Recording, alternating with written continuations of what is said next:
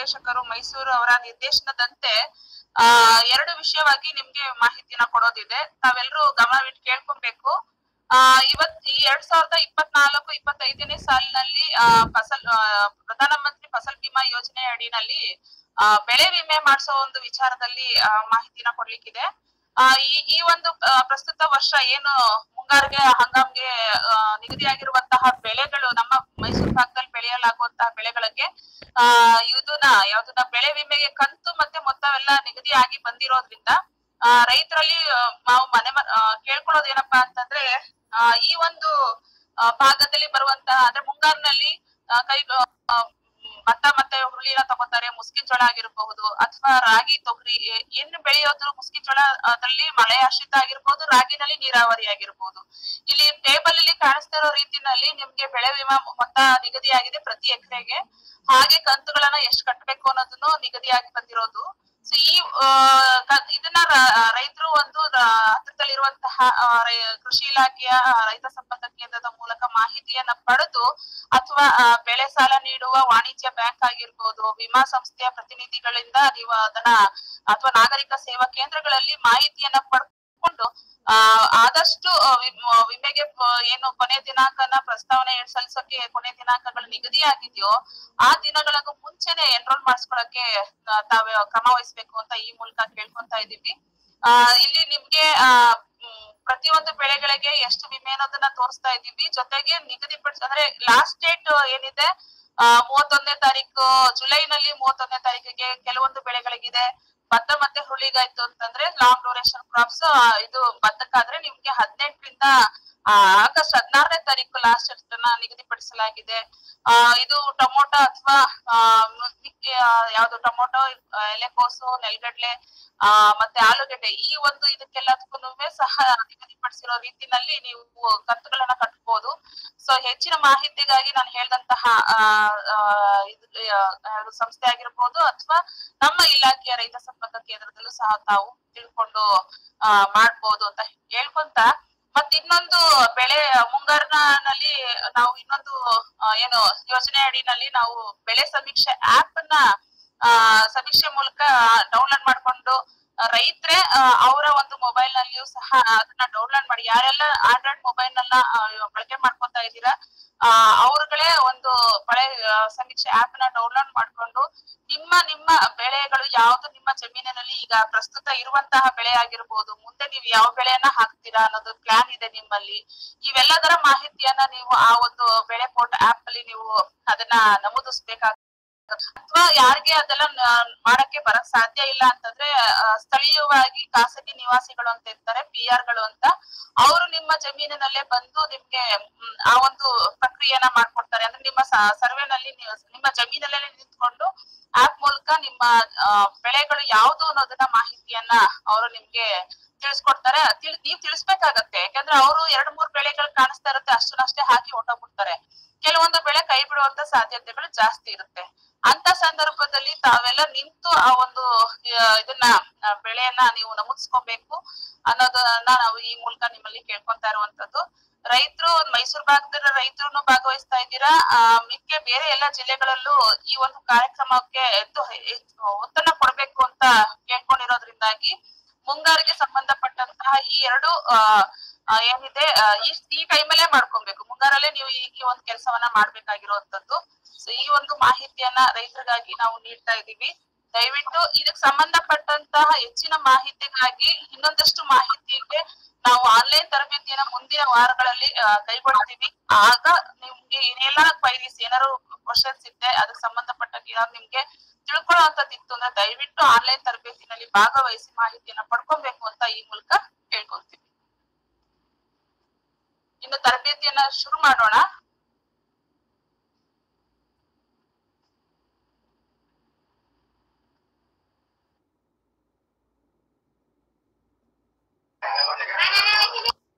ತೆಂಗಿನ ಬಗ್ಗೆ ರಾಮೇಗೌಡರು ಮಾತಾಡ್ಬೇಕು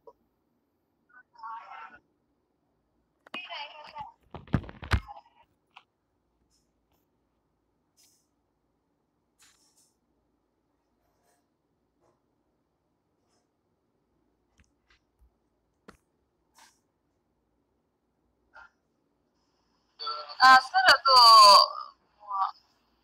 ಸ್ಲೈಡ್ ಶೋ ಆಗ ಹಾಕ್ಬೇಕು sir hello Ramegowda sir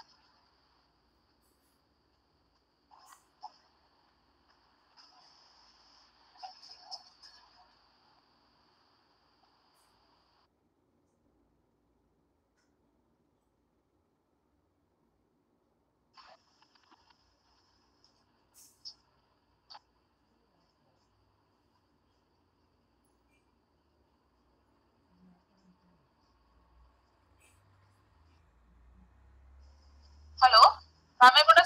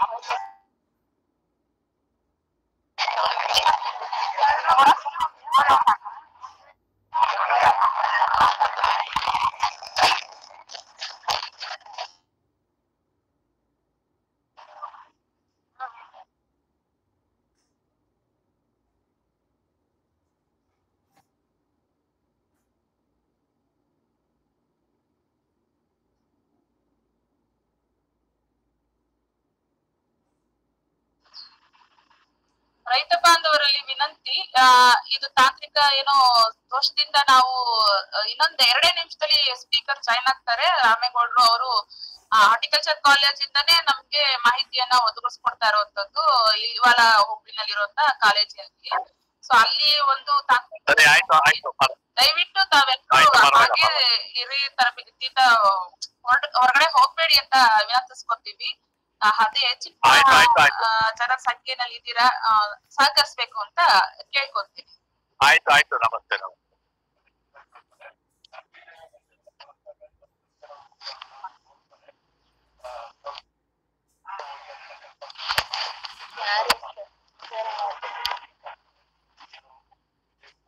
ಯಾರಿಲ್ರಿ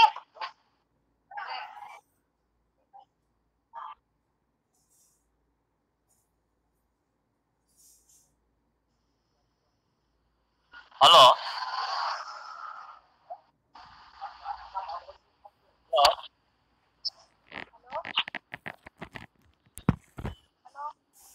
hello ಯಾ- ಆ, ಹಲೋ ಮಧುಸೂದನ್ ಅವ್ರು ಯಾರು ಹೇಳಿ ಮೇಡಮ್ ಅವ್ರೀಗ ಅವ್ರ ತರಬೇತಿಗೆ ಅವ್ರು ಜಾಯ್ನ್ ಆಗಕ್ ಮುಂಚೆ ಈಗ. ನಲವತ್ ನಲವತ್ತೆಂಟು ನಲವತ್ತಾರು ಜನ ರೈತರಿದ್ದಾರೆ. ಯಾವ್ದಾದ್ರು ಮಾಹಿತಿಗಳೇನಾದ್ರು ಇದ್ರೆ ಟೈಮ್ನ ಉಪಯೋಗಿಸ್ಕೋಬಹುದು ಅಂತ ಕೇಳ್ಕೊತಿದ್ದೀನಿ ಈಗಷ್ಟೇ ನಾನ್ ನಿಮ್ ಮೋಸ್ಟ್ಲಿ ಲೇಟರ್ ಆದ್ರೆ ಆದ್ರೇನೋ ಅನ್ಸುತ್ತೆ ಮಧುಸೂದನ್ ಅವರು ಕೇಳಿದೆ. ಬೆಳೆ ವಿಮಾ ಬಗ್ಗೆ ಕೇಳ್ದೆ ಬಟ್ ಟೈಮ್ ಇದೆಯಲ್ವಾ? ಅದಕ್ಕಾಗಿ ಏನಾದ್ರು ಇದ್ರ ಮಾಹಿತಿ ಇದ್ರೆ ಕೊಡಿ ಅಂತ. ಖಂಡಿತ. ನೋಡೋಣ. ಸಾಧ್ಯವಾದಷ್ಟು ಈಗ ನಾವು ಟೆಕ್ನಿಕಲ್ ಆಗಿ ಅವ್ರ ಜೊತೆ ಕಮ್ಯುನಿಕೇಶನ್ ಅಲ್ಲೇ ಇರ್ತೀವಲ್ಲ ಫೋನ್ ಅಲ್ಲಿ.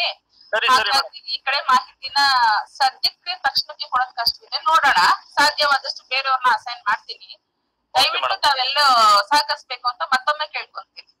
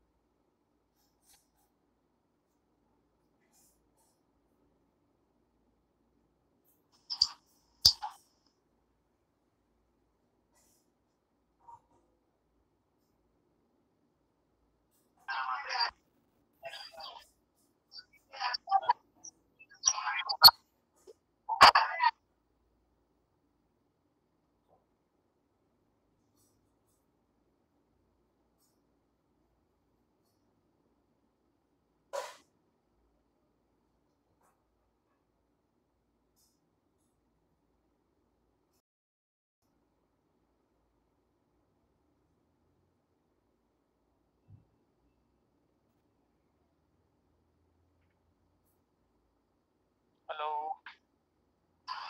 ಹಲೋ ಸರ್ ಕೇಳಿಸ್ತಾ ಇದೆಯಾ ಮೇಡಮ್? ಹಾ ಸರ್ ಕೇಳಿಸ್ತಾ ಇದೆ. ಓಕೆ ಫೈನ್ ಓಕೆ ಸರ್ ಹಾ ಸರ್ ನಾನು ಇಂಟ್ರೊಡ್ಯೂಸ್ ಮಾಡ್ಬಿಡ್ತೀನಿ ಸರ್ ತಮ್ಮನ್ನ. ಓಕೆ ಓಕೆ ಓಕೆ ಎಲ್ಲ ರೈತ ಬಾಂಧವರಲ್ಲೂ ಮತ್ತೊಮ್ಮೆ ಬಾಂಧವರಿಗೂ ನಮಸ್ಕಾರ. ಇವತ್ತಿನ ನಮ್ದು ಜಿಲ್ಲಾ ಕೃಷಿ ತರಬೇತಿ ಕೇಂದ್ರದ ವತಿಯಿಂದ ನಾವು ರೈತರಿಗಾಗಿ ಹಮ್ಮಿಕೊಳ್ತಾ ಬಂದಿರುವಂತಹ ಆನ್ಲೈನ್ ತರಬೇತಿನಲ್ಲಿ ಹದಿನೇಳನೇ ತರಬೇತಿ ಕಾರ್ಯಕ್ರಮ ಇದು. ಈ ಒಂದು ತರಬೇತಿಯ ವಿಷಯವನ್ನು ತಮ್ಗೆಲ್ರಿಗೂ ಗೊತ್ತಿದೆ.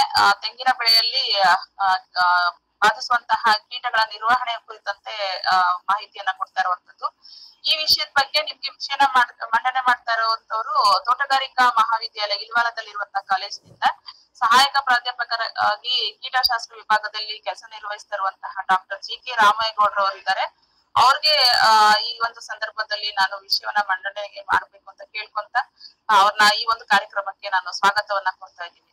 ವೆಲ್ಕಮ್ ಯು ಸರ್ ಹಾಗೆ ಆ, ತರಬೇತಿನಲ್ಲಿ ಭಾಗವಹಿಸಲು ಬಂದಿರುವಂತಹ ಎಲ್ಲ ನಮ್ಮ ಮೈಸೂರು ಜಿಲ್ಲೆಯ ರೈತರಾಗಿರ್ಬಹುದು ಆ, ಇನ್ನಿತರ ಜಿಲ್ಲೆಯಿಂದ ಭಾಗವಹಿಸಲು ಆಸಕ್ತರಾಗಿ ಬಂದಿರುವಂತಹ ಎಲ್ಲ ರೈತರಿಗೂ ಸಹ ಸಂದರ್ಭದಲ್ಲಿ ಕೇಂದ್ರದ ವತಿಯಿಂದ ನಾನು ಹಾಗೂ ವೈಯಕ್ತಿಕವಾಗಿ ನಾನು ಸ್ವಾಗತವನ್ನ ಕೋರ್ತಾ ಇದ್ದೀನಿ. ಮತ್ತೆ ಇನ್ನೊಂದು ವಿಶೇಷವಾಗಿ ಇವತ್ತಿನ ತರಬೇತಿ ಕಾರ್ಯಕ್ರಮದಲ್ಲಿ ಆ, ತೋಟಗಾರಿಕಾ ಮಹಾವಿದ್ಯಾಲಯದ ವಿದ್ಯಾರ್ಥಿಗಳು ಸಹ ಭಾಗವಹಿಸುತ್ತಾ ಬರ್ತಿರ್ತಾರೆ ಅವ್ರಿಗೆ ಈ ಸಂದರ್ಭದಲ್ಲಿ ಆ, ನಮ್ಮ ಕೇಂದ್ರದ ವತಿಯಿಂದ ನಾನು ಸ್ವಾಗತವನ್ನ ಕೋರ್ತಾ ಇವತ್ತಿನ ಕಾರ್ಯಕ್ರಮವನ್ನ ನಡೆಸ್ಕೊಡ್ಬೇಕು ಅಂತ ಮತ್ತೊಮ್ಮೆ ರಾಮೇಗೌಡ ಸರ್ನ ಕೇಳ್ಕೊತಾ ಇದ್ದೀನಿ.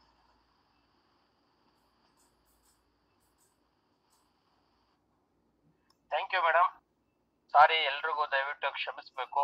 ಸ್ವಲ್ಪ ನಮ್ಮ ತಾಂತ್ರಿಕ ತೊಂದರೆಯಿಂದ ನಮಗೆ ನಿಮಗೆ ನೇರವಾಗಿ ಮೂರು ಗಂಟೆಗೆ ಕನೆಕ್ಟ್ ಆಗೋದಕ್ಕೆ ಸ್ವಲ್ಪ ತೊಂದರೆ ಆಯ್ತು ಸಿಸ್ಟಮ್ ಪ್ರಾಬ್ಲಮ್ನಿಂದ. ಹಾಗಾಗಿ ಎಲ್ರದ್ದು ಕ್ಷಮೆ ಕೇಳ್ತೀನಿ ನಾನು.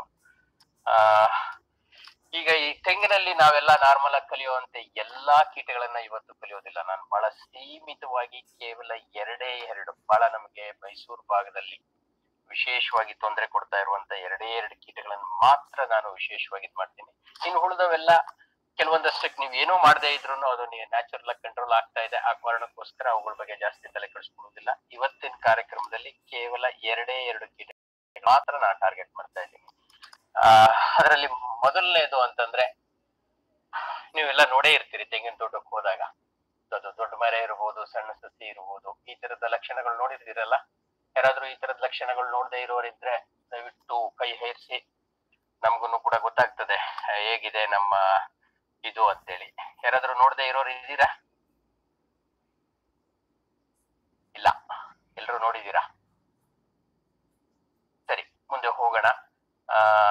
ನೆಕ್ಸ್ಟ್ ಏನಪ್ಪಾ ಅಂತಂದ್ರೆ, ಆ, ಈ ಒಂದು ಲಕ್ಷಣಗಳು ಬಹಳ ವೈಶಿಷ್ಟ್ಯವಾಗಿರ್ತವೆ. ಯಾವ ತರ ಹೋದ್ರು ಒಂದೊಂದ್ ದಿಕ್ಕಿನಲ್ಲಿ ನೋಡಿದ್ರೆ ಒಂದೊಂದ್ ರೀತಿ ಕಾಣಿಸ್ತವೆ.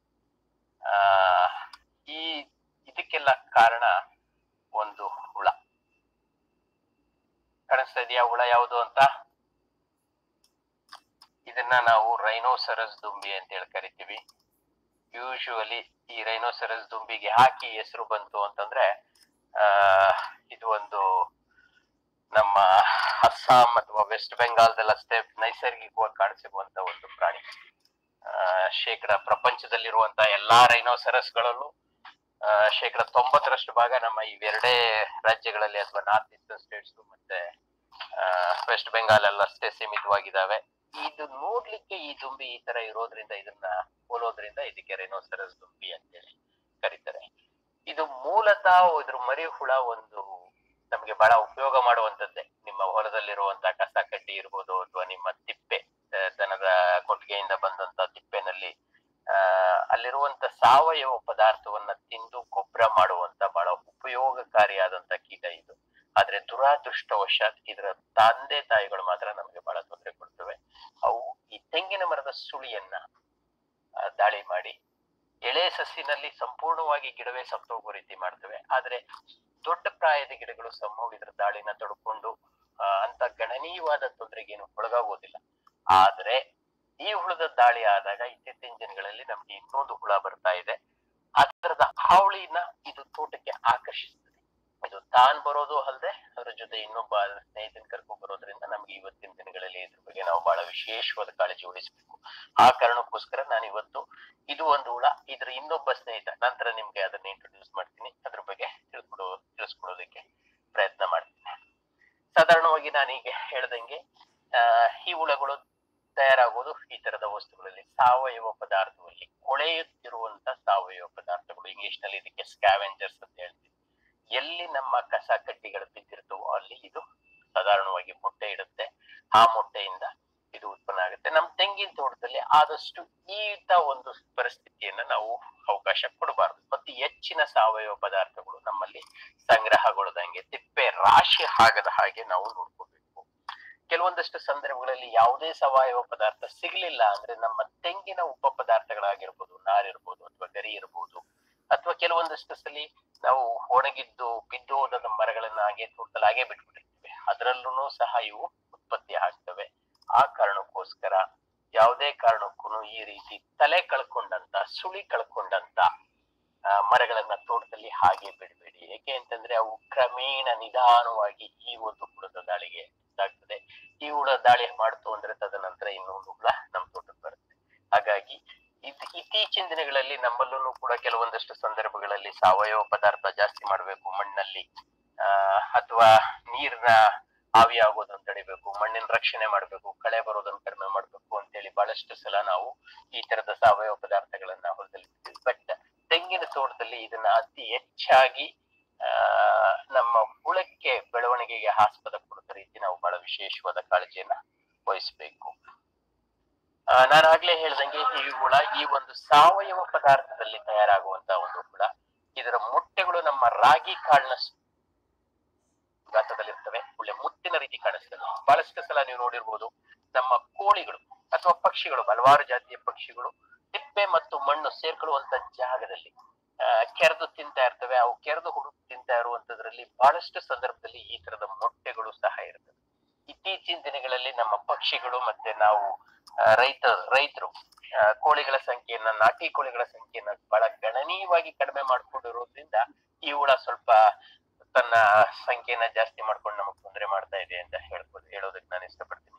ಮತ್ತೆ ಈ ಹುಳ ಇಲ್ಲೇ ಗೊಬ್ಬರವಾಗಿ ಸುಮಾರು ಹೆಚ್ಚು ಕಮ್ಮಿ ಒಂದು, ಆ ಎಷ್ಟು ಅರವತ್ತು ದಿನಗಳಲ್ಲಿ, ಅರು, ಅರವತ್ತರಿಂದ ತೊಂಬತ್ತು ದಿನಗಳಲ್ಲಿ ಈ ಮರಿ ಉಳುವಿನ ಹಂತವನ್ನ ಮುಗಿಸಿ, ಆ, ನಂತರ ಇದು ಕೋಶಾವಸ್ಥೆಗೆ ಹೋಗ್ತದೆ. ಸುಮಾರು ಒಂದು ತಿಂಗಳ ಕೋಶಾವಸ್ಥೆ ನಂತರ ಈ ದುಂಬಿ ಸುಮಾರು ಒಂದು, ಮೂರು ತಿಂಗಳು ಇದು ಬದುಕಿರ್ತದೆ. ತೊಂಬತ್ತರಿಂದ ನೂರ ಇಪ್ಪತ್ತ್ ಮೂರರಿಂದ ನಾಲ್ಕು ತಿಂಗಳವರೆಗೆ ಇದು ಬದುಕಿರ್ತದೆ. ಈ ನಾಲ್ಕು ತಿಂಗಳ ಅವಧಿನಲ್ಲಿ ಇದು ಪ್ರೌಢಾವಸ್ಥೆನಲ್ಲಿ ತನ್ನ ಆಹಾರಕ್ಕೋಸ್ಕರ ನಮ್ಮ ಗರಿಗಳನ್ನ ತಿಂದು ನಾಶ ಮಾಡ್ತದೆ. ಸುಳಿ ಸುಳಿ ಗರಿಗಳು ಅದರಲ್ಲೂ ಸುಳಿ ಕೆಳಭಾಗದಲ್ಲಿ ಇದು ದಾಳಿ ಮಾಡುತ್ತೆ. ಬಹಳಷ್ಟಲ್ಲಿ ಗರಿ ಇನ್ನು ಮುರಿದೇ ಇರುವುದಿಲ್ಲ. ಸುಳಿ ಬರ್ತಾ ಇದ್ದಂಗೆನೆ ಅದಕ್ಕೆ ದಾಳಿ ಮಾಡುತ್ತೆ.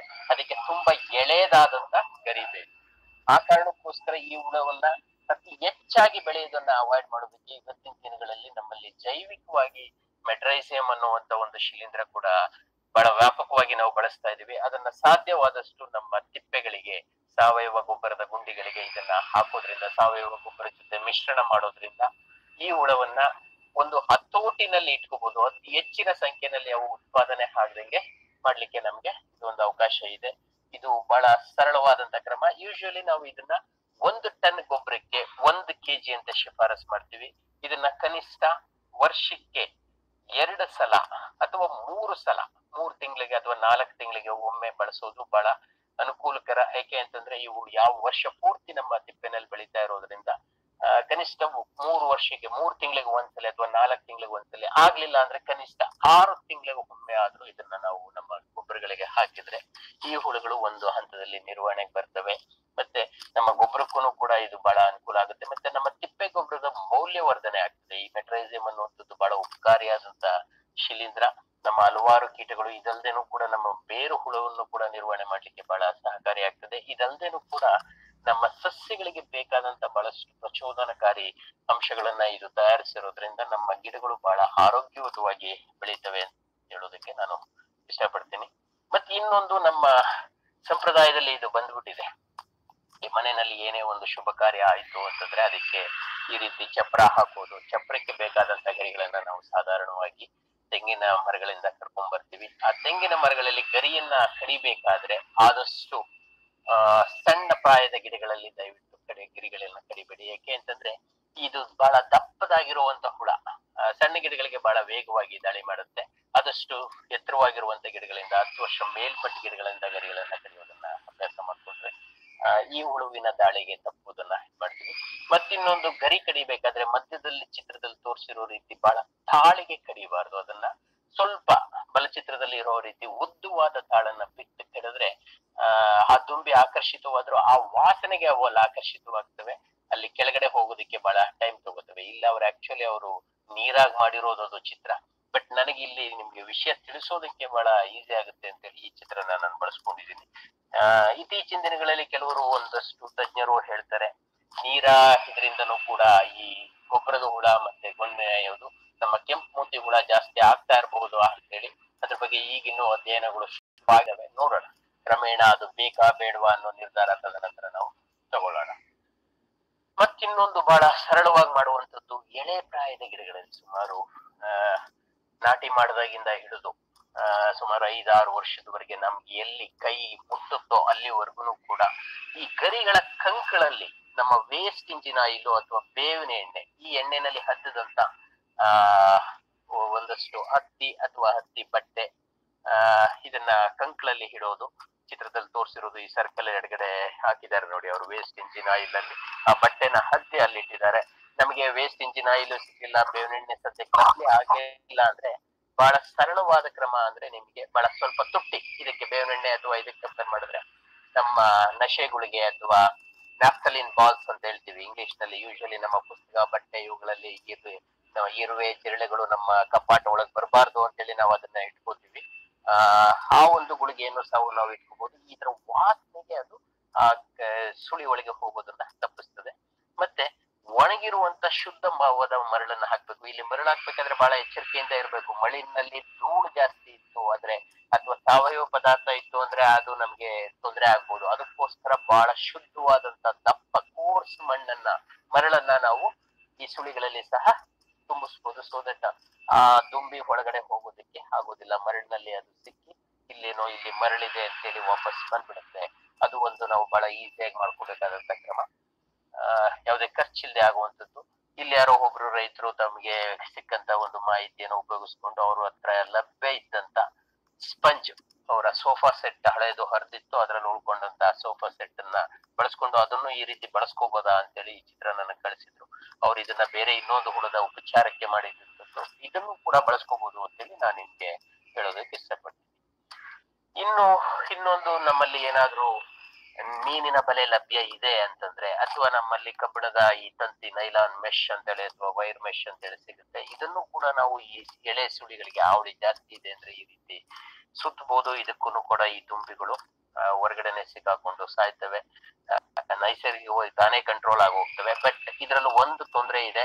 ನಮ್ಮ ಪಕ್ಷಿಗಳು, ಅಳಿಲುಗಳು ಇದರಲ್ಲಿ ಸಿಕ್ಕಾಕೊಳ್ಳುವಂತ ಸಾಧ್ಯತೆ ಇರೋದ್ರಿಂದ ಆ ಪರಿಸರವಾದಿಗಳು ಅಥವಾ ನೈಸರ್ಗಿಕ ಮಿತ್ರರು ನಮಗೆ ಗಲಾಟೆ ಮಾಡಿದ್ರೆ ಸ್ವಲ್ಪ ನಾವು ಕಾಳಜಿಯಿಂದ ಇರಬೇಕು ಯಾಕೆ ಅಂತಂದ್ರೆ ಇದು ಆ, ಈ ದುಂಬಿ ಹಲ್ದೆನೂ ಕೂಡ ನಮ್ಮ ಬೇಕಾದಂತ ಪಕ್ಷಿ ಪ್ರಾಣಿಗಳಿಗೆ ಅಥವಾ ಅಳಿಲುಗಳಿಗೆ ತೊಂದರೆ ಕೊಡುವಂತ ಸಾಧ್ಯತೆಗಳು ಇರ್ತವೆ ಆ ಕಾಳಜಿನೂ ನಾವು ಕೂಡ ಗಮನಿಸಬೇಕು ನಮ್ಮ ಸಸ್ಯ ಉಳಿಸ್ಕೊಳ್ಳೋದು ಅಥವಾ ದುಂಬಿ ಕೊಲ್ಲೋದ್ರ ಜೊತೆಗೆ ನಮ್ಮ ಪರಿಸರವನ್ನು ಉಳಿಸ್ಕೊಳ್ಳೋದ್ರ ಬಗ್ಗೆನೂ ಸ್ವಲ್ಪ ಎಚ್ಚರಿಕೆಯಿಂದ ನೋಡ್ಕೋಬೇಕು ಇದಲ್ದೆ ಬಹಳ ಅತ್ಯಂತ ಒಳಗಡೆ ಇದೆ ಈ ಹೊರಗಡೆ ಹೇಳ್ದ ಆ ಜಾಸ್ತಿ ಇಲ್ಲ ಇಷ್ಟು ದೊಡ್ಡ ಗಿಡ ಇದೆ ಮೇಗಡೆ ಒಂದು ಎರಡು ಮೂರು ನಾಲ್ಕು ರೆಟ್ಟೆ ಬಿಟ್ಟು ಕೆಳಗಡೆ ರೆಟ್ಟೆ ತಿಂತೆ ನೋಡಿ ಸರ್. ಇನ್ನು ಎಷ್ಟು ಇವಕ್ಕೆ ಶಕ್ತಿ ಇರ್ಬೇಕು ಸರ್ ಇವಕ್ಕೆ ಕೇಳಿದ್ರಲ್ಲ ನಮ್ಮ ರೈತರು ಮಾರು ಸುಮಾರು ಎರಡು ವರ್ಷದ ಗಿಡ ಅದು. ಅವರು ಆ ಗಿಡದಲ್ಲಿ ಆ ಒಂದು ದುಂಬಿಗಳನ್ನ ಹಿಡಿದು ಯಾವ ರೀತಿ ನಿರ್ವಹಣೆ ಮಾಡ್ಬೋದು ಅಂತ ಹೇಳಿ ಬಹಳ ಪ್ರಯತ್ನ ಮಾಡ್ತಾ ಇರ್ತಿದ್ರೆ ದುರಾದೃಷ್ಟವಶ ಅವ್ರಿರುವಂತ ಅವ್ರ ತೋಟ ಇರುವಂತ ಜಾಗದಲ್ಲಿ, ಆ, ಏನು, ಆ ಇವ್ರದೊಬ್ರೇ ಒಬ್ರದೇ ತೆಂಗಿನ ತೋಟ. ಇವ್ರದೊಬ್ರದೇ ತೆಂಗಿನ ತೋಟ ಇರೋದ್ರಿಂದ ಅಲ್ಲಿ ಅತಿ ಹೆಚ್ಚಿನ ಪ್ರಮಾಣದ ಈ ದುಂಬಿಗಳು ಬರ್ತಾ ಇದಾವೆ ನೋಡಿ ಸರ್ ಇದು ಒಳಭಾಗದಲ್ಲಿ ತಿಂತಾರೆ ನೋಡಿ ಆ ಹುಳ ನೋಡಿ ಅದೇ ಹುಳ ಒಳಗಡೆ ಇದೆ. ಈ ಪಕ್ಕೆ ಹಾಕಿ ಹೊರಗ ಹೊರಗಡೆ ಎಳ್ದ ಆತಂಬರ್ದ ಎಳ್ತಿದೀನಿ ಏನ್ ಜಾಸ್ತಿ ಇಲ್ಲ. ಇಷ್ಟು ದೊಡ್ಡ ಗಿಡ ಇದೆ. ಮೇಗಡೆ ಒಂದು ಎರಡು ಮೂರು ನಾಲ್ಕು ರೆಟ್ಟೆ ಬಿಟ್ಟು ಕೆಳಗಡೆ ರೆಟ್ಟೆ ಬಿದ್ದಿದೆ ನೋಡಿ ಸರ್. ಇನ್ನು ಎಷ್ಟು ಇವಕ್ಕೆ ಶಕ್ತಿ ಇರ್ಬೇಕು ಸರ್ ಇವಕ್ಕೆ ಗುಂಡಿನೇ ಜಾಸ್ತಿ ಇಲ್ಲ ನೋಡಿ ಸರ್ ನಮ್ಮ ಇವು ತೆಂಗು ಗುಂಡಿಗಳು.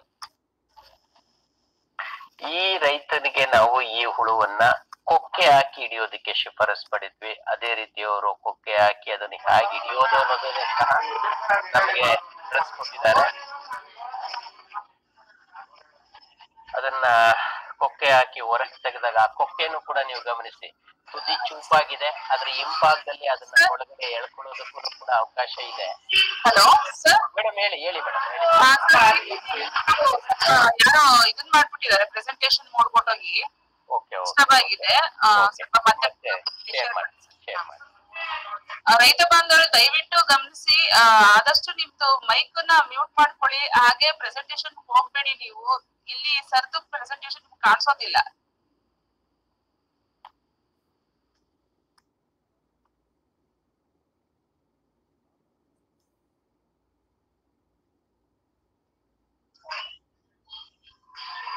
ಹಲೋ ವಾಯ್ಸ್ ಬರ್ತಾ ಇಲ್ಲ ಮೇಡಮ್ ಈಗ ಬರುತ್ತೆ ನೋಡಿ ಸರ್, ಕೇಳಿಸ್ತಾ ಇದೆಯಾ? ನೀವ್ ಯಾರು ಅಲ್ಲಿ ಪ್ರೆಸೆಂಟ್ ಅಂತೇಳಿ ಹೋಗ್ಬೇಡಿ, ದಯವಿಟ್ಟು ಏನು ಟಚ್ ಮಾಡಬೇಡಿ. ನಿಮ್ಮ ಮೈಕ್ ಮ್ಯೂಟ್ ಮಾಡ್ಕೊಳ್ಳಿ ಬಸವರಾಜ್ ಅವರು. ನಿಮ್ಮ ಮೈಕ್ ಮ್ಯೂಟ್ ಮಾಡ್ಕೊಳ್ಳಿ, ನಿಮ್ ಹಿಂದೆ ಗದ್ದಲ ಇದೆ ಬಾಳ. ಬಸವರಾಜ್ ಅವರೇ, ಕೇಳಿಸ್ತಾ ಇದೆಯಾ? ಮೇಡಮ್ ನೀವೇ ಮ್ಯೂಟ್ ಮಾಡ್ಬಿಡಿ ಅವ್ರನ್ನ.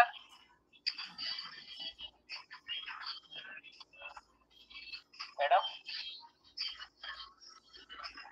Malti madam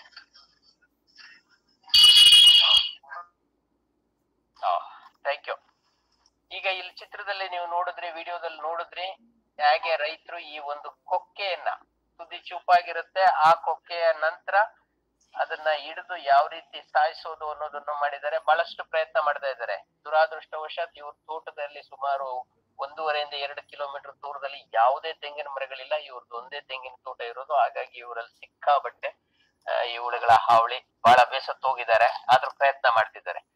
ಅವರ ಚಿತ್ರಗಳನ್ನೆಲ್ಲ ನಿಮಗ್ ತೋರಿಸ್ಬಿಟ್ರೆ ದಂಗಾಗಿ ಹೋಗ್ತೀರಿ ಒಂದೊಂದು ದಿನಕ್ಕೆ ಇಲ್ಲ ಆದ್ರೂ ಮೂವತ್ತು, ನಲವತ್ತು ದುಡ್ಡುಗಳನ್ನ ಅವರು ಹಿಡಿದು ಸಾಯಿಸ್ತಾ ಇದ್ರು ಒಂದು ಕಾಲದಲ್ಲಿ. ಬಟ್ ಈಗ ಒಂದ್ ಸ್ವಲ್ಪ ಹತೋಟಿಗೆ ಬಂದಿದೆ. ಯಾಕೆಂದ್ರೆ ಸತತ ಪರಿಶ್ರಮ.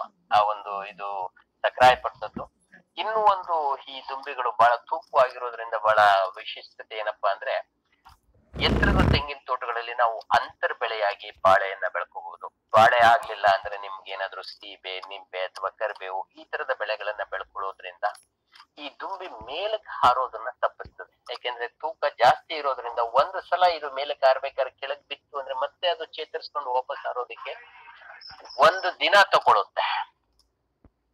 ಒಂದು ದಿನ ತಗೊಳುತ್ತೆ. ಆ ಕಾರಣಕ್ಕೋಸ್ಕರ. ಬಟ್ ಯಾವಾಗ ನಮ್ಮ ತೆಂಗಿನ ತೋಟ ಇನ್ನು ಎಳೆ ಪ್ರಾಯದ್ದಿರುತ್ತೋ, ಐದು ವರ್ಷಕ್ಕಿಂತ ಕಡಿಮೆ ಇರುತ್ತೋ, ಆ ಸಂದರ್ಭದಲ್ಲಿ ಯಾವುದೇ ಅಂತರ್ ಬೆಳೆಯನ್ನ ನಾವು ಬೆಳೆಯಬಾರದು ಈ ಹುಳ ನಿರ್ವಹಣೆಗೋಸ್ಕರ. ಯಾಕೆ ಅಂತಂದ್ರೆ ಅಂತ ಸಂದರ್ಭದಲ್ಲಿ ಆ ನಮ್ಮ ಅಂತರ್ ಬೆಳೆ ಪ್ಲಸ್ ಬಾಳೆ, ತೆಂಗು ಎರಡೂ ಒಂದೇ ಅಂತರದಲ್ಲಿ ಇರ್ತವೆ. ಹಾಗೇನಾದ್ರೂ ತೊಂದ್ರೆ ಆಯ್ತು ಅಂತಂದ್ರೆ, ಅದು ಸೀದಾ ನಮ್ಮ ತೆಂಗಿನ ಸುಳಿ ಒಳಗೆ ಹೋಗ್ಬಿಡುತ್ತೆ.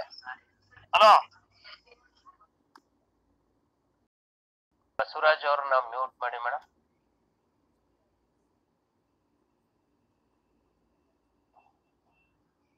ಓಕೆ. ಇದು ಒಂದು ಬಹಳ ಸರಳವಾದಂತ ಕ್ರಮ. ಈ ಅಂತರ ಬೆಳೆಗಳನ್ನ ನಾವು ವಿಶೇಷವಾಗಿ ತೆಂಗಿನಲ್ಲಿ ಹೇಳ್ತೀವಿ. ತೆಂಗಿನಲ್ಲಿ ಯಾಕೆ ಹೇಳ್ತೀವಿ ಅಂತಂದ್ರೆ ತೆಂಗಿನ ವಾತಾವರಣ ತಂಪಾಗಿದ್ದು ಬಹಳಷ್ಟು ಜೀವ ವೈವಿಧ್ಯತೆ ಅಲ್ಲಿತ್ತು ಅಂತಂದ್ರೆ ಅನು ಹಲವಾರು ಕೀಟಗಳಿಗೆ ತೆಂಗಿಗೆ ಬರುವಂತ ಕಪ್ಪು ತಲೆ ಹುಳ ಇರ್ಬೋದು ಅಥವಾ ನಮ್ಮ ಈ ರೈನೋಸೆರಸ್ ದುಂಬಿನ ಬಹಳ ಸರಳವಾಗಿ ನಾವು ಕಂಟ್ರೋಲ್ ಮಾಡೋದಕ್ಕೆ ಆಗತ್ತೆ. ಅದ್ರ ಜೊತೆಗೆ ಇನ್ನೊಂದಷ್ಟು ಅಂತರ್ ಬೆಳೆಗಳು ನಾವು ಬಳಸ್ಕೋಬಹುದಾದಂಥದ್ದು ಅಂತಂದ್ರೆ, ಆ, ಏನಪ್ಪಾ ಅಂತಂದ್ರೆ ನಮ್ಮ ಹರಳು ಅಥವಾ ಮೆಕ್ಕೆಜೋಳ.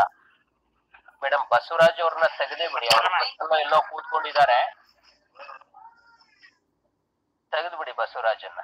Okay thank you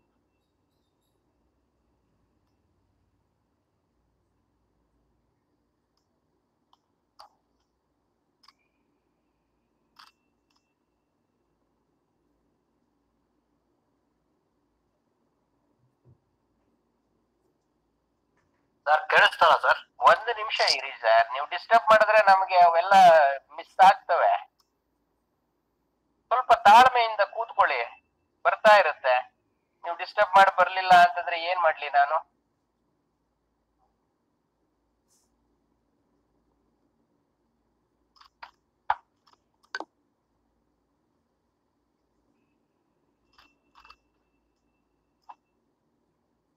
ಇವತ್ತು ಸ್ವಲ್ಪ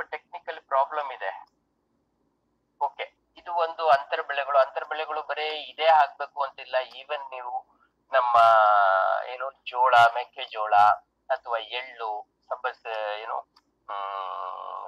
ಸೆಣಬು ಈ ತರದ ಬೆಳೆಗಳನ್ನು ಕೂಡ ಬೆಳ್ಕೊಂಡು ಅದು ನಿಮ್ಮ ಪರಿಸರದಲ್ಲಿ ತಂಪಿರ್ಬೇಕು. ಮಣ್ಣು, ಗಾಳಿ, ಬಿಸಿಲಿಗೆ ಹೊಟ್ಕೋಬಾರ್ದು ಆ ರೀತಿಯಾದಂತ ಒಂದು ಅವಕಾಶವನ್ನ ಮಾಡ್ಕೊಂಡ್ರೆ ಈ ಹುಳಗಳನ್ನು ಕೂಡ ನಾವು ಬಹಳ ಜೀವ ವೈವಿಧ್ಯತೆಯನ್ನು ನಮ್ಮ ತೋಟದಲ್ಲಿ ಜಾಸ್ತಿ ಮಾಡ್ಕೊಂಡು ಇದ್ ಮಾಡ್ಕೊಳ್ಳೋದಕ್ಕೆ ಅವಕಾಶ ಇದೆ. ಬಹಳಷ್ಟು ಸಂದರ್ಭಗಳಲ್ಲಿ ಹಲವಾರು ರೈತರುಗಳು ನಮ್ಮ ತೋಟ ನೀಟಾಗಿರ್ಬೇಕು ಮಣ್ಣು ಬಿಟ್ಟು ಬೆ- ತೆಂಗಿನ ಬೇರ್ ಬಿಟ್ಟು ಬೇರೆ ಏನೋ ಕಾಣಬಾರ್ದು ಅಂತ ಹೇಳಿ ಬಹಳಷ್ಟು ಉಳುಮೆ ಮಾಡ್ತೀರಿ ಅತಿ ಹೆಚ್ಚಾದ ಉಳುಮೆನೂ ಅವಶ್ಯಕತೆ ಇಲ್ಲ. ಕಳೆ ನಿರ್ವಹಣೆ ಮಾಡಿ ಆದ್ರೆ ತುಂಬಾ ಆಳವಾಗಿ ಉಳುಮೆ ಮಾಡಬೇಡಿ. ತುಂಬಾ ಆಳವಾಗಿ ಉಳುಮೆ ಮಾಡುವಂತ ಸಂದರ್ಭದಲ್ಲಿ ಈ ತೆಂಗಿನ ಒಂದು ಕಾಂಡಗಳಿಗೆ ಅಥವಾ ಬೇರುಗಳಿಗೆ ಹಾನಿ ಆಯ್ತು ಅಂತಂದ್ರೆ ನಮ್ಮ ಗಿಡಗಳು ವೀಕ್ ಆಗ್ತವೆ. ಈಗ ರೋಡ್ ಹಾಕ್ಸೋದ್ ಬಿಟ್ರ ಇಲ್ಲ ದಯವಿಟ್ಟು ನಿಮ್ಮ ಪ್ರಶ್ನೆನ ಕೊನೆವರೆಗೂ ಇಳಿಸ್ಕೊಂಡಿರಿ. ತಾಳ್ಮೆಯಿಂದ ಕೂತ್ಕೊಳ್ಳಿ. ಮತ್ತೆ ಮಾತಾಡ್ಬೇಡಿ. ಲಾಸ್ಟ್ ಅಲ್ಲಿ ಪ್ರಶ್ನೋತ್ತರದ ಸಮಯ ಇಟ್ಟಿದ್ದಾರೆ. ಎಲ್ಲನೂ ಆಮೇಲೆ ಚರ್ಚೆ ಮಾಡೋಣ ಹ್ಮ್ ಅಲ್ಲಲ್ಲೇ ಮಾಡಿದ್ರೆ ಮತ್ತೆ ನಾವು ಮುಂದೆ ಹೋಗೋದಕ್ಕೆ ಟೈಮ್ ಆಗಿ ಹೋಗ್ತದೆ ಯಾಕೆಂದ್ರೆ ನಾವು ಒಂದ್ ಗಂಟೆ ಒಳಗೆ ಮುಗಿಸ್ಬೇಕು ಅರ್ಥ ಆಯ್ತಾ ಅದಕ್ಕೆ ಮಾತಾಡ್ತಾ ಇಲ್ಲ ಸರ್ ಅರ್ಥ ಆಯ್ತು ಸ್ಟಾರ್ಟ್ ಮಾಡಿದೆ ಲೇಟ್ ಅಲ್ವಾ ಸರ್ ಅದೇನಿದೆ ತೊಂದ್ರೆ ಆದದ್ದಕ್ಕೆ ಅಂತ ಹೇಳದ್ನಲ್ಲ ಕ್ಷಮೆ ಕೇಳದ್ನಲ್ಲ ಸ್ವಾಮಿ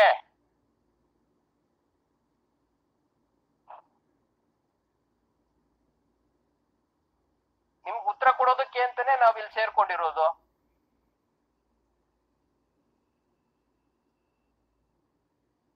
ಓಕೆ ಇನ್ನೊಂದು ಅತ್ಯಂತ ಸರಳವಾದಂತ ಸೋಮಾರಿಯಾದಂತ ಕ್ರಮ ಅಂದ್ರೆ ಇವುಗಳನ್ನ ಮೋಹಕ ಬಲೆಗಳನ್ನ ಉಪಯೋಗಿಸಿ ಬಳಸುವಂತದ್ದು ಅದರಲ್ಲಿ ಸದ್ಯ ಮಾರುಕಟ್ಟೆನಲ್ಲಿರುವಂತ ಹಲವಾರು ಬ್ರ್ಯಾಂಡ್ಗಳಿದಾವೆ ಆದ್ರೆ ನಾವು ಶಿಫಾರಸ್ ಮಾಡುವಂತದ್ದು ನಮ್ಮ C P C R I ಕಾಸರಗೋಡ್ನವ್ರದ್ದು ಕೂಡ ಒಂದಿದೆ. ಅವರ ಮೋಹಕ ಬಲೆಯ ಟೆಕ್ನಿಕ್ ಒಂದು ವೈಶಿಷ್ಟ್ಯತೆ ಏನಪ್ಪಾ ಅಂದ್ರೆ ಈ ಬಲಭಾಗದ ಚಿತ್ರದಲ್ಲಿ ನೀವು ನೋಡ್ತಾ ಇರ್ಬೋದು.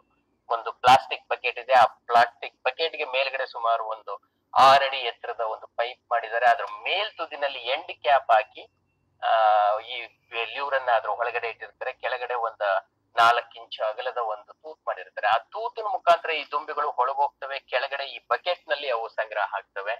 ಈ ತರದನ್ನ ನೀವೇ ಲೋಕಲ್ ಆಗಿ ಒಂದು ಡ್ರಮ್ಗು ಅಥವಾ ನಿಮ್ಗೆ ಏನ್ ಬೇಕು ಅದರಲ್ಲೂ ಇದು ಮಾಡ್ಬೋದು. ಏನು ಬೇಡ ಆದ್ರೆ ಅದನ್ನ ಮಣ್ಣಲ್ಲಿ ಹೂಟ್ ಹಾಕಿದ್ರೆ ಅವು ಮಣ್ಣಲ್ಲಿ ಹೋಗಿ ಗೊಬ್ಬರ ಆಗುತ್ತೆ ಈ ಬಕೆಟ್ನಲ್ಲಿ ಹಾಕೊಂಡಿರೋ ವೈಶಿಷ್ಟ್ಯತೆ ಏನಪ್ಪಾ ಅಂತಂದ್ರೆ ಅವನ್ನ ನೀವು ಒಣಗದ ಮೇಲೆ ಅವು ಸತ್ತ ಮೇಲೆ ತಗೊಂಡು ನಿಮ್ಮ ಕೋಳಿಗಳಿಗೆ ಆಹಾರವಾಗಿ ಬಳಸ್ಕೋಬಹುದು ಇಲ್ಲ ಅಂದ್ರೆ ನಿಮ್ಮ ಗೊಬ್ಬರದ ಗುಂಡಿಗೆ ಹಾಕಿದ್ರೆ ಅವಲ್ಲೇ ಗೊಬ್ಬರವಾಗುತ್ತವೆ. ಹಾಗಾಗಿ ಅವು ಎಲ್ಲೂ ಮತ್ತೆ ಆರೋಗೋದಕ್ಕೆ ಅವಕಾಶ ಕೊಡಬಾರದು ಅಂತೇಳಿ. ಯಾಕೆಂದ್ರೆ ಅವು ಪ್ಲಾಸ್ಟಿಕ್ನಲ್ಲಿ ಅದು ಹತ್ಕೊಂಡು ಬರೋದಕ್ಕೆ ಆಗೋದಿಲ್ಲ. ಇನ್ನು ಇದೊಂದು ಗಯಾಜನ್ ಅನ್ನುವರು ಒಂದು ಕಂಪನಿ ಮಧ್ಯ ನಮ್ಮ ಪಿ ಸಿ ಐ ಅಂತಿತ್ತು, ಅದನ್ನ ಈಗ ಗಯಾಜನ್ ಅಂತ ಹೇಳಿ ಹೆಸರು ಬದಲು ಮಾಡ್ಕೊಂಡಿದ್ದಾರೆ. ಅವರ ಒಂದು ಫೆರ್ಮೋನ್ ಟ್ರ್ಯಾಪ್ ಇದು. ಇದಕ್ಕೆ ಕೆಳಗಡೆ ನೀರ್ ಹಾಕಿ ಈ ತರದ ಬಕೆಟ್ ಗಳನ್ನ ಹಾಕ್ಬೋದು. ಅದು ಕೊಲ್ಯಾಪ್ಸ್ ಆದ್ರೆ ಅವೆರಡು ಶೀಟ್ಗಳು ಈ ತರ ಆಗುತ್ತೆ. ಅದೇ ರೀತಿ ಬೇರೆ ಬೇರೆ ಕಂಪನಿಗಳು ಬಹಳಷ್ಟು ಬಂದಿದೆ. ಬೇಯರ್ದು ಕೂಡ ಇನ್ನೊಂದು ಬಂದಿದೆ. ಬೇಯರ್ ಅವ್ರದ್ದು ದುರಾದೃಷ್ಟವಾದ ಏನ್ ಬಂದಿದೆ ಅಂದ್ರೆ, ಅವರು ತೆಂಗಿನ ಮರಕ್ಕೆ ಕಟ್ಟೋ ರೀತಿ ಒಂದು ಮಾಡ್ಯೂಲ್ ಮಾಡ್ಬಿಟ್ಟಿದ್ದಾರೆ. ದಯವಿಟ್ಟು ಇದನ್ನ ತೆಂಗಿನ ಮರಕ್ಕೆ ಕಟ್ಟಬಾರ್ದು.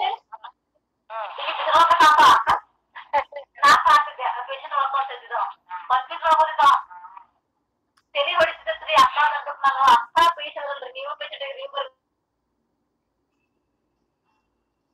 ಕಂಟಿನ್ಯೂ ಮಾಡೋಣ ಮೇಡಮ್ ಇದನ್ನ ಕಟ್ಟಬೇಕಾದ್ರೆ ಒಂದು ವೈಶಿಷ್ಟ್ಯತೆ ನೀವು ಗಮನಿಸಬೇಕು. ಯಾವುದೇ ಕಾರಣಕ್ಕೂ ಇದನ್ನ ತೆಂಗಿನ ಮರಕ್ಕೆ ಕಟ್ಟಬಾರದು. ಆದಷ್ಟು ತೋಟದಿಂದ ಹೊರಗಡೆ ಕಟ್ಟೋದು ಬಹಳ ಉತ್ತಮ. ಎಕರೆಗೆ ಕನಿಷ್ಠ ಒಂದಾದ್ರೂ ಬಳಸಬೇಕು. ಗರಿಷ್ಠ ನಾಲ್ಕರವರೆಗೂ ಬಳಸೋದ್ರಲ್ಲಿ ತೊಂದರೆ ಇಲ್ಲ. ಇನ್ನೂ ಜಾಸ್ತಿ ಬಳಸ್ತೀವಿ ಅಂದ್ರೆ ತೊಂದರೆ ಇಲ್ಲ. ಆದ್ರೆ ಖರ್ಚು ಜಾಸ್ತಿ ಆಗುತ್ತೆ. ಆ ಖರ್ಚು ನೀವು ಮ್ಯಾನೇಜ್ ಮಾಡ್ತೀವಿ ಅಂದ್ರೆ ನಾವು ಯಾವುದೇ ಅಭ್ಯಂತರ ಇಲ್ಲ. ಬಟ್ ನಾಲ್ಕು ಸಾಕು. ತೋಟದ ನಾಲ್ಕು ಮೂಲೆನಲ್ಲೂ ಅಥವಾ ನಾಲ್ಕು ಬದಿನಲ್ಲಿ ತೋಟದಿಂದ ಹೊರಗಡೆ ಕಟ್ಟೋದು ಬಹಳ ಉತ್ತಮ. ಯಾಕೆ ಅಂತಂದ್ರೆ ಇವು ತೋಟದ ಒಳಗಡೆ ಇದ್ರೂ ಈ ಮೋಹಕ ಬೆಲೆ ಕಡೆಗೆ ಹೊರಗಡೆ ಬಂದ್ಬಿಡ್ತವೆ. ಅವುಗಳನ್ನ ಹಿಡಿದು ಸಾಯಿಸೋದು ಬಹಳ ಸರಳವಾದ ಕ್ರಮ. ಮತ್ತೆ ಈ ನೀರ್ ಹಾಕಿದ್ರೆ ನೀರ್ನಲ್ಲೇ ತನ್ನಿಂದ ತನ್ನಿಂತಾನೆ ಸತ್ತೋಗ್ತವೆ. ನಾವೇನ್ ವಿಶೇಷವಾಗಿ ಇದ್ ಮಾಡೋದು ಬೇಡ. ಇಲ್ಲಿ ನಾನ್ ನಿಮ್ಗೆ ಮೊದ್ಲೇ ಹೇಳ್ದಂಗೆ ಯಾವುದೇ ಕಾರಣಕ್ಕೂ ಅದನ್ನ ತೆಂಗಿನ ಮರಕ್ಕೆ ಕಟ್ಟಬೇಡಿ ಮಧ್ಯ ದಾರಗಳ ಹಾಕಿ ಅದಾದ್ರೂ ಕಟ್ಟಿ, ಇಲ್ಲ ಹೊರಗಡೆ ಒಂದ್ ಯಾವ್ದೋ ಬೇರೆ ಮರ ಇತ್ತು, ಆದಷ್ಟು ಇದನ್ನ ನೆರಳಿನಲ್ಲಿ ಕಟ್ಟೋದು ಬಹಳ ಉತ್ತಮ. ಬೇಸಿಗೆನಲ್ಲಿ ಇದು ಬಹಳ ಬೇಗ, ಆ, ಡ್ರೈ ಆಗಿ ಹೋಗ್ತದೆ ಆ ಕಾರಣಕ್ಕೋಸ್ಕರ ನೆರಳಿನಲ್ಲಿ ಇರ್ಲಿ ವರ್ಷದ ಹನ್ನೆರಡು ತಿಂಗಳು ಸಹ ಇದು ಇದ್ರೆ ಬಹಳ ಅನುಕೂಲ. ಆದಷ್ಟು ಬೇಸಿಗೆನಲ್ಲಿ ಇದು ಹೆಚ್ಚಾಗಿ ನೆರಳಿನಲ್ಲಿರೋ ರೀತಿ ನಾವು ಕಾಯ್ಕೋಬೇಕಾಗತ್ತೆ. ಇನ್ನು ಇದು ವಿಶೇಷವಾಗಿ ನಮ್ಮ ಸಸಿಗಳು ಮತ್ತೆ ಅತ್ತೆ, ನಮ್ಮ ತೋಟ ಹತ್ತು ವರ್ಷದ ಪ್ರಾಯಕ್ಕೆ ಬರೋವರೆಗೂ ವಿಶೇಷವಾಗಿ ನಾವು ಇದನ್ನ ಕಾಳಜಿ ಮಾಡ್ಕೋಬೇಕು. ಯಾಕೆ ಅಂತಂದ್ರೆ, ಈ ಹುಳದ ದಾಳಿ ಆಯ್ತು ಅಂದ್ರೆ ಇದ್ರಲ್ಲಿ ಬರುವಂತ ವಾಸನೆಯಿಂದ ಇಲ್ಲಿ ಪಕ್ಕದಲ್ಲಿರುವಂತ ಕೆಂಪು ಮೂತಿ ಹುಳ ನಮ್ ತೋಟಕ್ಕೆ ಬರುತ್ತೆ. ತಾನ್ ಬರೋದು ಒಂದೇ ಈ ತನ್ನ ಸ್ನೇಹಿತರನ್ನ ಕರ್ಕೊಂಡ್ ಬರುತ್ತೆ. ಇದು ನಮಗೆ ಬಹಳ ದಾನಿ ಮಾಡ್ತದೆ. ಈಗ ನಮ್ಮ ಮೈಸೂರು ಭಾಗದಲ್ಲಿ ಕಳೆದ ಮೂರು ವರ್ಷದಿಂದ ನನ್ನ ಒಂದು ಅಧ್ಯಯನಗಳಲ್ಲಿ ನಾನು ಹೊಡೆದಂಗೆ ನಮ್ಮ ವರುಣ ವರುಣ ಸುತ್ತಮುತ್ತ ಇದ್- ಇದ್ರ ಹಾವಳಿ ಬಹಳ ವಿಪರೀತವಾಗಿದೆ. ಅದೇ ರೀತಿ ಗದ್ದಿಗೆ ಸರೌಂಡಿಂಗ್ಸ್ನಲ್ಲಿ ಎಚ್ ಡಿ ಕೋಟೆ ಇರ್ಬೋದು ಅಥವಾ ಹುಣಸೂರು ಇರ್ಬೋದು ಅಥವಾ ಮೈಸೂರು ಇರ್ಬೋದು, ಇಲ್ಲಿ ಬಹಳ ಇದ್ರ ಹಾವಳಿ ತುಂಬಾ ಜಾಸ್ತಿ ಇದೆ. ಅದನ್ನ ಬಿಟ್ರೆ ಸ್ವಲ್ಪ ಮಟ್ಟಿಗೆ ಪ್ರಿಯಾಪಟ್ಟಣದಲ್ಲಿದೆ ಮತ್ತೆ ಪಕ್ಕದ ನಮ್ಮ ಕೆ ಆರ್ ಪೇಟೆನಲ್ಲಿ ಇದ್ರ ಹಾವಳಿ ತುಂಬಾ ಅತಿಯಾಗಿದೆ. ಕೆ ಆರ್ ಪೇಟೆದು ನಾನು ಇನ್ನು ಸ್ವತಃ ಅಲ್ಲಿ ಫೀಲ್ಡ್ನಲ್ಲಿ ನೋಡಿಲ್ಲ ಬಟ್ ರೈತರ ಮಾಹಿತಿಗಳ ಪ್ರಕಾರ ಕೆ ಆರ್ ಪೇಟೆನಲ್ಲಿ ತುಂಬಾ ವ್ಯಾಪ್ತಿ ಇದೆ. ಹಾಗಾಗಿ ಇಲ್ಲಿಯ ರೈತರುಗಳು ಬಹಳ ಹುಷಾರಾಗಿರ್ಬೇಕು ಈ ಹುಳದ ಹಾವಳಿಗೆ. ಯಾಕೆ ಅಂತಂದ್ರೆ ಇವೆಲ್ಲವೂ ಕೂಡ ನಮ್ಮ ತೋಟಕ್ಕೆ ಬರುವುದು ಈ ಗಾಯಗಳಿಂದ ಹಾಗೆ. ಆ, ನಾವು ಗಾಯ ಮಾಡೋದಕ್ಕೆ ಇನ್ನೊಂದು ಅವಕಾಶ ಏನು ಅಂತಂದ್ರೆ ಬಹಳಷ್ಟು ಸಲ ಯಾರೋ ಈಗಷ್ಟೇ ಕೇಳ್ತಾ ಇದ್ರು, ರೋಟೋವೇಟ್ರ್ ಅಂತೇಳಿ ಟ್ರ್ಯಾಕ್ಟರ್ ಹೊಡಿತಾ ಇರ್ಬೇಕಾದ್ರೆ ಟ್ರ್ಯಾಕ್ಟರ್ನಲ್ಲಿ ಉಳುಮೆ ಮಾಡ್ತಾ ಇರ್ಬೇಕಾದ್ರೆ ಪವರ್ ಟಿಲ್ಲರ್ನಲ್ಲಿ ಅದಕ್ಕೆ ಗಾಯ ಆಗ್ಬಿಡುತ್ತೆ. ಅವ್ರಿಗೆ ಗೊತ್ತಿಲ್ದೇನೆ. ಯಾಕೆ ಅಂತಂದ್ರೆ ಅವ್ರು ಮುಂದೆ ವೀಲ್ ನೋಡ್ಕೋತಾ ಇರ್ತಾರೋ, ಹಿಂದೆ ರೋಟೋವೇಟ್ರ್ ನೋಡ್ತಾ ಇರ್ತಾರೋ, ಆ ಒಂದು ಗದ್ದಲದಲ್ಲಿ ಮುಂದ್ಗಡೆ ಟ್ರ್ಯಾಕ್ಟರ್ ಹೋಗಿ ನಮ್ಮ ತೆಂಗಿನ ಬುಡಕ್ಕೆ ಹೊಡಿಬಹುದು ಅಥವಾ ಅವ್ರು ಈ ಕಡೆ ಮುಂದ್ಗಡೆ ವೀಲ್ ನೋಡ್ಕೊಂಡು ತಿರುಗಿಸಿದಾಗ ಹಿಂದ್ಗಡೆ ನಮ್ಮ ರೋಟೋವೇಟ್ರು ನಮ್ಮ ಬುಡಕ್ಕೆ ಬಡಿಬಹುದು ಆ ತರದ ಗಾಯ ಆಗ್ತದೆ. ಇಲ್ಲೊಂದು ನೋಡಿ, ಯಾವುದೋ ಒಂದು ಬಿಲ್ಡಿಂಗ್ ಪಕ್ಕದಲ್ಲಿ ಆಗಿರುವಂತದ್ದು ಯಾವುದೋ ಒಂದು ಜೆ ಸಿ ಬಿ ಇಂದ ಅವರಿಗೆ ಗೊತ್ತಿಲ್ಲದೆ ಆಗಿರುವಂತಹ ಹಾನಿ ಈ ತರದ ಹಾನಿಗಳು ನಮ್ಮ ಈ ಹುಳುವನ್ನ ನಮ್ಮ ತೋಟಕ್ಕೆ ಕರೀತವೆ. ಹಾಗಾಗಿ ತೆಂಗಿನ ತೋಟ ಇದ್ದಾಗ ಬಹಳ ವಿಶೇಷವಾಗಿ ಕಾಳಜಿ ಮಾಡಬೇಕು. ಮತ್ತೆ ಇತ್ತೀಚಿನ ನನ್ನ ಅಧ್ಯಯನಗಳ ಪ್ರಕಾರ ಒಂದು ಗೊತ್ತಾಗಿರೋದೇನಪ್ಪಾ ಅಂದ್ರೆ ಈಗಷ್ಟೇ ಯಾರೋ ಪ್ರಶ್ನೆ ಮಾಡ್ತಾ ಇದ್ರು. ರೋಟಾವೇಟರ್ ಗಳನ್ನ ತುಂಬಾ ಆಳವಾಗಿ ಬಳಸೋದು, ಮತ್ತೆ ತೆಂಗಿನ ಬುಡಕ್ಕೆ ಬಹಳ ಹತ್ರಕ್ಕೆ ತಗೊಂಡೋಗಿ ಯಾಕೆ ಅಂತಂದ್ರೆ ಅವ್ರ ಹತ್ರ ಕಳೆ ತೆಗೆಯೋದಕ್ಕೆ ಅಥವಾ ಕೈ ಕೆಲಸ ಮಾಡೋದಕ್ಕೆ ಆಳು ಕಾಳುಗಳು ಇರೋದಿಲ್ಲ, ಆ ಕಾರಣಕ್ಕೋಸ್ಕರ, ಆ, ಬುಡದ ಪಕ್ಕಕ್ಕೆ ಒಂದು ಅರ್ಧ ಅಡಿ ಗ್ಯಾಪ್ ಇಲ್ಲ, ನಮ್ಮ ಟ್ರ್ಯಾಕ್ಟರ್ ಎಷ್ಟು ಹೋಗುತ್ತೋ ಅಷ್ಟು ಇಲ್ಲ ಅಂತಂದ್ರೆ ಒಂಚೂರು ರಿವರ್ಸ್ ಬಂದು ಕೂಡ ಅಲ್ಲಿಂದ ಅದನ್ನ ರೋಟೋವೇಟರ್ನಲ್ಲಿ ಹುಳುವಂತ ಒಂದು ಕ್ರಮವನ್ನ ಕೈಗೊಳ್ಳಿದ್ದಾರೆ. ಅಥವಾ ಕೆಲವೊಂದಷ್ಟು ಸಲ ಕೆಲವು ರೈತರುಗಳು ನಮ್ಮ ಪವರ್ ಟಿಲ್ಲರ್ನ ಉಪಯೋಗಿಸ್ಕೊಂಡು ಗೊಬ್ಬರ ಹಾಕೋದಕ್ಕೆ ವರ್ಷಕ್ಕೆ ಒಂದ್ಸಲ ಅಥವಾ ಎರಡು ಸಲ ಗೊಬ್ಬರ ಹಾಕೋದಕ್ಕೆ ಅದಕ್ಕೆ ರೌಂಡ್ ಹಾಕ್ತಾರೆ ಅದರಲ್ಲಿ. ಅದು ಆಳವಾಗಿ ಬೇರ್ಗಳನ್ನ ನಾಶ ಮಾಡ್ತದೆ. ಕೆಲವೊಂದಷ್ಟು ಸಂದರ್ಭಗಳಲ್ಲಿ ಇಲ್ಲಾಗಿರೋ ರೀತಿ ಕಾಂಡಗಳಿಗೆ ಗಾಯವನ್ನು ಮಾಡ್ತದೆ. ಎಲ್ಲಿ ಆಳವಾಗಿ ಉಳುಮೆ ಮಾಡಿದ್ದಾರೆ ಅಥವಾ ಕೆಲವೊಂದಷ್ಟು ಸಂದರ್ಭಗಳಲ್ಲಿ ನಮ್ಮ ಶುಂಠಿ ಅಥವಾ ಅರ್ಶನ ಬೆಳೆಯುವಂತ ರೈತರುಗಳು ಏನ್ ಮಾಡಿದ್ದಾರೆ? ಆಳವಾಗಿ ಉಳುಮೆ ಮಾಡಿ ಅಂತ ಕಡೆ ನೇಗಿಲುಗಳನ್ನ ಉಪಯೋಗಿಸಿದ್ದಾರೆ. ನೇಗಿಲುಗಳನ್ನ ಉಳಿಸಿ ಸುಮಾರು ಒಂದೂವರೆ, ಎರಡು ಅಡಿ ಆಳಕ್ಕೆ ಉಳುಮೆ ಮಾಡಿದಂತ ಸಂದರ್ಭಗಳಲ್ಲಿ ಅಂತ ತೋಟಗಳಲ್ಲಿ ನಮ್ಮ ಹುಳುಗಳ ಹಾವಳಿ ತುಂಬಾ ಜಾಸ್ತಿ ಇದೆ. ಅದು ಕೆಂಪು ಮುದ್ದಿ ಹುಳು ಮತ್ತೆ ಕಪ್ಪು ತಲೆ ಹುಳು ಇವೆರಡೂ ಕೂಡ ಎಲ್ಲಿ ಆಳವಾದ ಉಳುಮೆ ಜಾಸ್ತಿ ಇದೆಯೋ ಅಂತದ್ದು ಅಂದ್ರೆ ನಮ್ಮ ಗಿಡ ಈ ಹುಳುಗಳಿಗೆ ಬಾಧೆಗೆ ಬಹಳ ಸರಳವಾಗಿ ತುತ್ತಾಗುತ್ತೆ ಎಲ್ಲಿ ನಮ್ಗೆ ರೂ, ಬೇರಿನಲ್ಲಿ ಒತ್ತಡ ಇದೆ ಅಥವಾ ಮಣ್ಣಿನಲ್ಲಿ ಒತ್ತಡ ಉಂಟಾಗಿದೆ. ಇದು ಯಾಕಾಗತ್ತೆ ಅಂತಂದ್ರೆ ಅಲ್ಲಿರುವಂತ ಬೇರ್ಗಳನ್ನ ಅದು ಕಳ್ಕೊತದೆ. ಬೇರ್ ಕಳ್ಕೊಂಡ ತಕ್ಷಣ ಮತ್ತೆ ಹೊಸ ಬೇರು ಹುಟ್ಟಿಸ್ಕೊಳ್ಳೋದಕ್ಕೆ ಅದು ಕಾನ್ಸಂಟ್ರೇಟ್ ಮಾಡುತ್ತೆ. ಅಟ್ ದ ಸೇಮ್ ಟೈಮ್ ನಮ್ಮ ಗಿಡ ಈ ಹುಳುಗಳ ದಾಳಿಗೆ ಬಹಳ ಈಸಿಯಾಗಿ ತುತ್ತಾಗ್ತದೆ. ಹಾಗಾಗಿ ಬಹಳ ಎಚ್ಚರಿಕೆಯಿಂದ ಇರಬೇಕು. ಮತ್ತೆ ಈ ಕೆಂಪು ಮೂತಿ ಹುಳ ಬಂದ್ರೆ ಯಾವ ರೀತಿ ಮೊದಲನೇ ಲಕ್ಷಣಗಳು ಕಾಣಿಸ್ತವೆ? ಆರಂಭದಲ್ಲಿ ಕೆಳ ಗರಿಗಳು ಹಳದಿ ಆಗ್ತವೆ. ಅದರಲ್ಲೂ ಪ್ರಮುಖವಾಗಿ ಕೆಳಗಿನ ಗರಿಗಳೇ ಕೆಲವೊಂದಷ್ಟಲ್ಲಿ ಹಳದಿ ಆಗ್ತವೆ. ಕೆಲವೊಂದಷ್ಟು ಸಲ ಕೆಳಗಿನ ಗರಿಗಳು ಹಸಿಯಾಗಿರ್ತವೆ.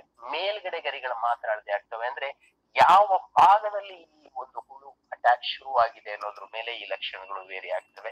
ಒಂದೇ ರೀತಿ ಇರಬೇಕು ಅನ್ನೋದಿಲ್ಲ. ಬಹಳಷ್ಟು ಸಂದರ್ಭಗಳಲ್ಲಿ ಗಿಡ ಮೊದಲು ಹಳದಿ ಆಗ್ತದೆ. ತದನಂತರ ಈ ಗರಿಗಳು ಮಧ್ಯಕ್ಕೆ, ಬಹುತೇಕ ಸಂದರ್ಭಗಳಲ್ಲಿ ಮಧ್ಯಕ್ಕೆ ಕೆಲವೊಂದಷ್ಟು ಸ್ಥಳದಲ್ಲಿ ಆ, ಮುಕ್ಕಾಲು ಭಾಗಕ್ಕೆ ಮುರಿದು ಬೀಳ್ತವೆ, ಜೋತಾಡ್ತಾ ಇರ್ತವೆ. ಇದು ಈ ಒಂದು ಇದು. ಇದು ಮುಂದುವರೆದ್ರೆ ಈ ಗರಿಗಳು ಮುಂದೆ ಸಂಪೂರ್ಣವಾಗಿ ಹೊರಗೋಗ್ತವೆ ಏಕೆ ಅಂತಂದ್ರೆ ಒಳಗಡೆ ಕಾಂಡ. ಕೊಳ್ತು ಹೋಗ್ತದೆ ಆ ಕಾಂಡ ಕೊಳೆಯೋದು ಯಾಕೆಂದ್ರೆ ಹುಳ ತಿಂದಾಗ ಆಟೋಮೆಟಿಕ್ ಆಗಿ ಅಲ್ಲಿ ಕೊಳೆಯುವಂತ ಪ್ರಕ್ರಿಯೆ ಶುರುವಾಗ್ತದೆ. ಅದು ಮುಂದೆ ಇದಾಯ್ತು ಅಂದ್ರೆ ಒಂದ್ ಸ್ವಲ್ಪ ಬಿಡಿಸಿ ನೋಡಿದ್ರೆ ಈ ರೀತಿ ರಂಧ್ರಗಳು ನಮಗೆ ನೋಡ್ಲಿಕ್ಕೆ ಸಿಗ್ತದೆ. ಎಸ್ಪೆಷಲಿ ಆ ನಮ್ಮ ಗರಿಗಳು ಇರುವಂತ ಕೆಳಗಡೆ ಒಂದ್ ಸ್ವಲ್ಪ ತೆಗೆದು ನೋಡಿದ್ರೆ ಇವು ನಮಗೆ ನೋಡ್ಲಿಕ್ಕೆ ಸಿಗ್ತವೆ. ಕೆಲವೊಂದಷ್ಟು ಸಂದರ್ಭಗಳಲ್ಲಿ ಅವು ಭೂಮಿಗೆ ಹತ್ರದಲ್ಲಿರುವಂತ ಕಾಂಡದಲ್ಲಿ ಯಾವ, ಎಂತ ಸಂದರ್ಭಗಳಲ್ಲಿ ಅಂದ್ರೆ ನಮ್ಮ ಕಾಂಡಕ್ಕೆ ಏನಾದ್ರೂ ಗಾಯ ನಾವು ಮಾಡಿದ್ರೆ ನೇಗಿಲಿಂದ ಇರ್ಬೋದು, ಕುಡ್ಗೋಲಿಂದ ಇರ್ಬೋದು ಅಥವಾ ಇರಬಹುದು ಅಥವಾ ರೋಟವೇಟರ್ ಗಳಿಂದ ಇರ್ಬೋದು, ಇದರಿಂದ ಆಗಿರುವಂತ ಗಾಯಗಳಿಂದ ಅಂತ ಜಾಗಗಳಲ್ಲಿ ಈ ಹುಳ ಮೊಟ್ಟೆ ಇಡುತ್ತೆ ಯಾವ್ದದು ಹುಳ ಅಂತ ನೋಡಕ್ ಹೋದ್ರೆ ಬರುತ್ತೆ. ಅದಕ್ಕೆ ನಿರ್ವಹಣೆ ಮಾಡ್ಲಿಕ್ಕೆ ಏನಪ್ಪಾ ಅಂತಂದ್ರೆ ಎಲ್ಲಿ ಗಾಯ ಆಗಿದೆ ಅಂತ ಒಂದು ಜಾಗಕ್ಕೆ ನಾವು ಮೊದಲು ಅದನ್ನ ಸ್ವಚ್ಛ ಮಾಡಿ,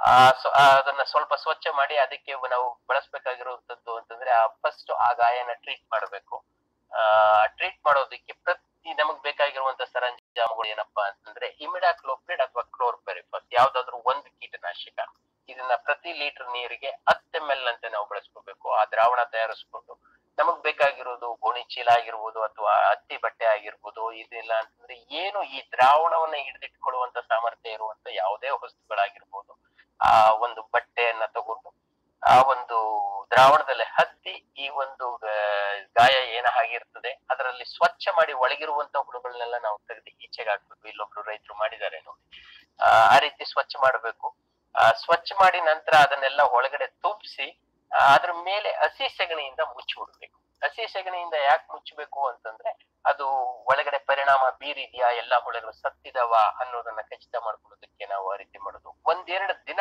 ಬಿಟ್ಟು ಆ ಒಳಗಡೆ ಇರೋ ಕಸನೆಲ್ಲ ನಾವು ಹೊರಗಡೆ ತೆಗೆದ್ರೆ ಈ ರೀತಿ ಒಳಗಡೆ ಸತ್ತಿರುವಂತ ಹುಳುಗಳು ನಮಗೆ ಸಿಗ್ತವೆ. ಇವನ್ನೆಲ್ಲ ತೆಗೆದು ಆಚೆ ಹಾಕಿ, ಅಲ್ಲಿ ಮತ್ತೆ ಏನು ಕಸ ಹೊಸದಾಗಿ ಉತ್ಪನ್ನ ಆಗಿಲ್ಲ ಅಂತಂದ್ರೆ ಆ ಅಂತ time ನಲ್ಲಿ ನಾವು ಈ ಒಂದು ಮಿಶ್ರಣವನ್ನ ಮಾಡ್ಕೊಂಡು ಇದ್ ಮಾಡ್ಬೇಕು. ಅದಕ್ಕೆ ಬೇಕಾಗಿರೋದೇನಪ್ಪ ಅಂದ್ರೆ ನಮ್ಮ ಸಿಮೆಂಟ್ ಕಾಂಕ್ರೀಟ್. ಮರಳು ಮತ್ತೆ ಸಿಮೆಂಟ್ ಅನ್ನು ಸೇರಿಸಿ ಮಾಡ್ಕೊಂಡಿರುವಂತ ಕಾಂಕ್ರೀಟ್ ಸುಮಾರು ನಾಲ್ಕು ಅಳತೆ. ಒಂದು ಅಳತೆ ನಮ್ಮ ಸಿಒಸಿ ಬ್ಲೈಟ್ಯಾಕ್ಸ್ ಅನ್ನುವಂತ ಒಂದು ಶಿಲೀಂಧ್ರ ನಾಶಕ ಅದ್ರ ಜೊತೆಗೆ ಒಂದು ಭಾಗ ಇದನ್ನ ಒಂದು ಸೇರ್ನಲ್ಲೋ ಅಥವಾ ಲೀಟರ್ನಲ್ಲೋ ಯಾವುದೋ ಒಂದು ವಾಲ್ಯೂಮ್ ಒಂದು ಅಳತೆ ನೀವು ಇದ್ ಮಾಡ್ಕೊಂಡು ಆ ಅಳತೆನಲ್ಲಿ ನೀವು ಈ ಪ್ರಮಾಣದಲ್ಲಿ ಮಿಶ್ರಣ ಮಾಡ್ಬೋದು ಆ ಕ್ಲೋರ್ಪೆರಿಫಾಸ್ ಅಥವಾ ಇಮ್ಲಾಕ್ರೋಬಿಡ್ ಸೇಮ್ ಮೊದ್ಲು ಏನ್ ಬಳಸಿದ್ರು ಅದೇ ಇದು ಇದ್ರೊಳಗೆ ನಾವು ಹೊಸದಾಗಿ ಏನ್ ಸೇರಿಸ್ಕೊತಾ ಇದೀವಿ ಅಂದ್ರೆ ಶಿಲೀಂಧ್ರ ನಾಶಕ ಒಂದು ಹೊಸದಾಗಿ ಸೇರಿಸ್ಕೊತಾ ಇದೀವಿ ಬೇಕು ಅಂದ್ರೆ ಇದನ್ನ ಮಿಶ್ರಣ ಮಾಡೋದಕ್ಕೆ ಅದು ತುಂಬಾ ಯಾಕೆಂದ್ರೆ ಮರಳಿನ ಮೇಲೆ ಅದು ವ್ಯತ್ಯಾಸ ಆಗ್ತದೆ. ಬೇಕು ಅಂದ್ರೆ ಸ್ವಲ್ಪ ನೀರನ್ನ ಸೇರಿಸ್ಕೊಳ್ಳಿ, ಇಲ್ಲ ಅಂದ್ರೆ ಬೇಕಾಗಿಲ್ಲ. ಅದನ್ನ ಒಂದು ಕಾಂಕ್ರೀಟ್ ಮಾಡ್ಕೊಂಡು ಆ ಗೂಡನ್ನ ಮುಚ್ಚಿಬಿಡಿ. ಇದು ಯಾವ ರೀತಿ ಅಂತಂದ್ರೆ ನಾವು ಕಾಲ್ ಮುರ್ಕೊಂಡ್ರೆ ನಮ್ಗೆ ಹೇಗೆ ಡಾಕ್ಟರ್ ಪ್ಲಾಸ್ಟರ್ ಮಾಡ್ತಾರೋ ಆ ರೀತಿ ಆದಂತೂ ಯಾಕೆ ಅಂತಂದ್ರೆ ಒಳಗಿರುವಂತ ಟಿಶ್ಯೂ ಸಂಪೂರ್ಣವಾಗಿ ಈ ಹುಳ ತಿಂದಾಕಿರ್ತದೆ ನಂತರ ಕೆಲವೊಂದಷ್ಟಲ್ಲಿ ಅದು ಕೊಳ್ತೋಗಿರುತ್ತೆ ಅದನ್ನ ನಾವೀಗ ಸ್ವಚ್ಛ ಮಾಡಿದೀವಿ ಅದನ್ನ ರಿಪೇರ್ ಮಾಡಿ ಅಲ್ಲಿ ಖಾಲಿ ಬಿತ್ತು ಅಂತಂದ್ರೆ ಅದು ವೀಕ್ ಆಗುತ್ತೆ. ಖಾಲಿ ಇರೋ ಬದಲು ಅದೊಂದು ಸ್ಟ್ರೆಂತ್ ಸಿಕ್ತು ಅಂತಂದ್ರೆ ಹೊರಗಡೆ ಇರುವಂತ ಕೋಶದಲ್ಲೇ ಅದು ನಮ್ಗೆ ಉಳ್ಕೊಳ್ಳುತ್ತೆ ಕನಿಷ್ಠ ನಾವು ಒಂದು ಹತ್ತರಿಂದ ಇಪ್ಪತ್ತು ವರ್ಷ, ಕೆಲವೊಂದು ಸಲ ಐವತ್ತು ವರ್ಷ ಕೂಡ ನಾವು ಉಳಿಸ್ಕೋಬಹುದು ಅಂತೇಳಿ ಹಲವಾರು ತಜ್ಞರು ಹೇಳ್ತಾರೆ. ಅದು ಎಷ್ಟು ಡ್ಯಾಮೇಜ್ ಆಗಿದೆ ಅನ್ನೋದ್ರ ಮೇಲೆ ಹೋಗ್ತದೆ. ತುಂಬಾ ಡ್ಯಾಮೇಜ್ ಆಗಿತ್ತು ಅಂತಂದ್ರೆ ಕೆಲವೊಂದ್ಸಲಿ ತೀವ್ರವಾದ ಗಾಳಿ ಬಿತ್ತು ಅಂದ್ರೆ ಮುರಿದೋಗ್ಬೋದು. ಆದ್ರೆ ಒಳಗಡೆ ಸ್ಟ್ರೆಂತ್ ಇತ್ತು ಅಂದ್ರೆ ಅಷ್ಟು, ಅದು ಈಸಿಯಾಗಿ ಸರಳವಾಗಿ ಮುರಿಯೋದಕ್ಕೆ ಆಗೋದಿಲ್ಲ. ಇದನ್ನ ಈ ರೀತಿ ಪ್ಲಾಸ್ಟರ್ ಮಾಡ್ಬಿಟ್ರೆ ನಮಗೆ ಈ ಒಂದು ಹುಳವನ್ನ ನಿರ್ವಹಣೆ ಮಾಡೋದು ಸರಳ. ಕೆಲವೊಂದಷ್ಟು ಸಲ ತುಂಬಾ ತೀವ್ರವಾಗಿತ್ತು ಅಂತಂದ್ರೆ ಸಂಪೂರ್ಣವಾಗಿ ನಮ್ಗೆ ಸುಳಿ ಹೋಗ್ಬಿಡುತ್ತೆ. ಮರ ಸಂಪೂರ್ಣ ನಷ್ಟ ಆಗುತ್ತೆ. ಈ ಒಂದು ಹಂತದಲ್ಲಿ ನಾವು ಇದನ್ನ ರಿಕವರ್ ಮಾಡ್ಕೊಳ್ಳೋದು ಕಷ್ಟ. ಅದ್ ಮರ ನಮ್ಗೆ ಹೋಯ್ತು ಅನ್ನೋದು ಲೆಕ್ಕ. ಆ ಮರವನ್ನ ಹಾಗೆ ಬಿಟ್ರೆ ಅದು ಇಡೀ ಊರ್ಗಾಗುವಷ್ಟು ಹುಳಗಳನ್ನ ಅದು ಒಂದು ಮರದಲ್ಲಿ ಉತ್ಪನ್ನ ಆಗ್ತವೆ. ಅದಕ್ಕೋಸ್ಕರ ನಾವ್ ಏನ್ ಮಾಡ್ಬೇಕು ಅಂತಂದ್ರೆ ಈ ರೀತಿ ಆಗ್ತದೆ. ಮತ್ತೆ ಕೆಲವೊಂದಷ್ಟಲ್ಲಿ ಬಿದ್ದು ಹೋಗ್ತದೆ ಮರ. ಅಲ್ಲಿವರೆಗೂ ನಾವು ತಡ ಮಾಡ ನೋಡ್ಲಿಲ್ಲ ಅಂತಂದಾಗ ಈ ರೀತಿ ಬಿದ್ದು ಹೋಗ್ತದೆ. ಈ ತರದ ಹುಳುಗಳು ನಮ್ಗೆ ನೋಡ್ಲಿಕ್ಕೆ ಬೇಕಾದಷ್ಟು ಸಿಗ್ತವೆ. ಈ ಒಂದು ಹಂತದಲ್ಲಿ ಇದ್ರ ಕೋಶಗಳು ಕೂಡ ನಮಗೆ ನೋಡ್ಲಿಕ್ಕೆ ಸಿಗ್ತವೆ. ನೋಡಿ, ಇಲ್ಲೊಬ್ರು ರೈತರು ಆ ಮರ ಒಣಗಿದ್ದು ತುಂಬಾ ಎರಡು, ಮೂರು ವರ್ಷದ ಮೊದ್ಲೇನೆ ಅವರು ಗಮನಿಸ್ತಾ ಬಂದಿದ್ದಾರೆ ಬಟ್ ಏನಕ್ಕೋ ಒಣಗೋಯ್ತು ಅಂತೇಳಿ ಅದನ್ನ ಕೈ ಬಿಟ್ಟಿದ್ದಾರೆ. ಆ, ಕೈ ಬಿಟ್ಟು ಅವ್ರೇನ್ ಮಾಡ್ತಾ ಇದ್ದಾರೆ? ಆ, ಪಕ್ಕದಲ್ಲಿ ಒಂದು ಸಸಿನ ಮಾಡಿದ್ದಾರೆ ಬಟ್ ದುರಾದೃಷ್ಟವಶಾತ್ ಅಲ್ಲಿ ತಯಾರಾದಂತ ಊರುಗಳು ಅದೇ ರೈತರ ಕೈನಲ್ಲಿ ಇಟ್ಕೊಂಡಿದ್ದಾರೆ ನೋಡಿ. ಹಾಗೂ ಅಲ್ಲಿ ತಯಾರಾದಂತ ಹುಳುಗಳು ಇನ್ನೊಂದಷ್ಟು ಈ ಊರಿನಲ್ಲಿ ಸುಮಾರು ಶೇಕಡ ಐವತ್ತರಷ್ಟು ಮರಗಳು ಸಂಪೂರ್ಣ ನಾಶ ಆಗೋಗಿದ್ದಾವೆ. ಅವರೆಲ್ಲರೂ ಹೊಸ ಗಿಡಗಳನ್ನ ನೆಡ್ತಾ ಇದ್ದಾರೆ. ನಾನು ಹೋದಂತ ತಂದ್ರೆ ಎರಡು ವರ್ಷದ ಕೆಳಗೆ. ಬಟ್ ಈಗ್ಲೂ ಕೂಡ ಅಲ್ಲಿ ಯಾರು ಅದನ್ನ ಚಿಕಿತ್ಸೆ ಮಾಡೋದಕ್ಕೆ ಬಹಳಷ್ಟು ಜನ ತಯಾರಿಲ್ಲ. ಅದಕ್ಕೆ ಕಾರಣಗಳು ಅವ್ರದೇ ವೈಯಕ್ತಿಕಗಳು. ನಾವೇನು ಮಾಡ್ಲಿಕ್ಕೆ ಆಗೋದಿಲ್ಲ. ಬಟ್ ಆ ಒಂದು ಇದ್ರಲ್ಲಿ ಎಲ್ಲಿ ಇಡೀ ಊರ್ನವರು ಆ ತೋಟನ ಕಳ್ಕೊಂಡ್ರು ಅನ್ನೋದಕ್ಕೆ ಬಹಳ ದುಃಖ ಆಗ್ತದೆ ವಿಧಿ ಇಲ್ಲ ಈ ಮರಗಳನ್ನ ನಾವು ತೆಗಿಲೇಬೇಕು. ಈ ಮರಗಳನ್ನ ತೆಗೆದು ನಾವು ಬಹಳ ಅವಕಾಶ ಇದ್ದವರು ಅದನ್ನ ನೀರಿನಲ್ಲಿ ಮುಳುಗಿಸೋದು ಬಹಳ ಉತ್ತಮ. ನೀರಿನಲ್ಲಿ ಮುಳುಗಿಸೋದು ಉತ್ತಮ. ನೀರಿನಲ್ಲಿ ಯಾಕೆ ಮುಳುಗಿಸೋದು ಅಂತಂದ್ರೆ ಈ ಹುಳಗಳು ಒಂದ್ ಸ್ವಲ್ಪ ಈ ಕಾಂಡ ಸಿಕ್ಕರು ಅದರಲ್ಲಿ ಬದುಕುವಂತ ಸಾಧ್ಯತೆ ಇರುತ್ತೆ.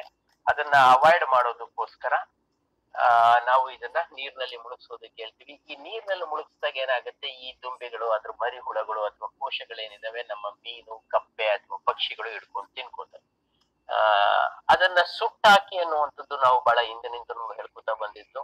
ಆ, ಯಾರಿಗೆ ನೀರಿನ ಲಭ್ಯತೆ ಹತ್ರದಲ್ಲಿ ಇಲ್ಲ ಅಥವಾ ಆ ಮರವನ್ನ ಅಲ್ಲಿಗೆ ತಗೊಂಡು ಹೋಗೋದಕ್ಕೆ ಬಹಳ ತೊಂದರೆ ಇದೆ ಅಂತವ್ರು ಮಾತ್ರ ಅದನ್ನ ಸುಟ್ಟಾಕ್ಬೇಕಾಗ್ತದೆ.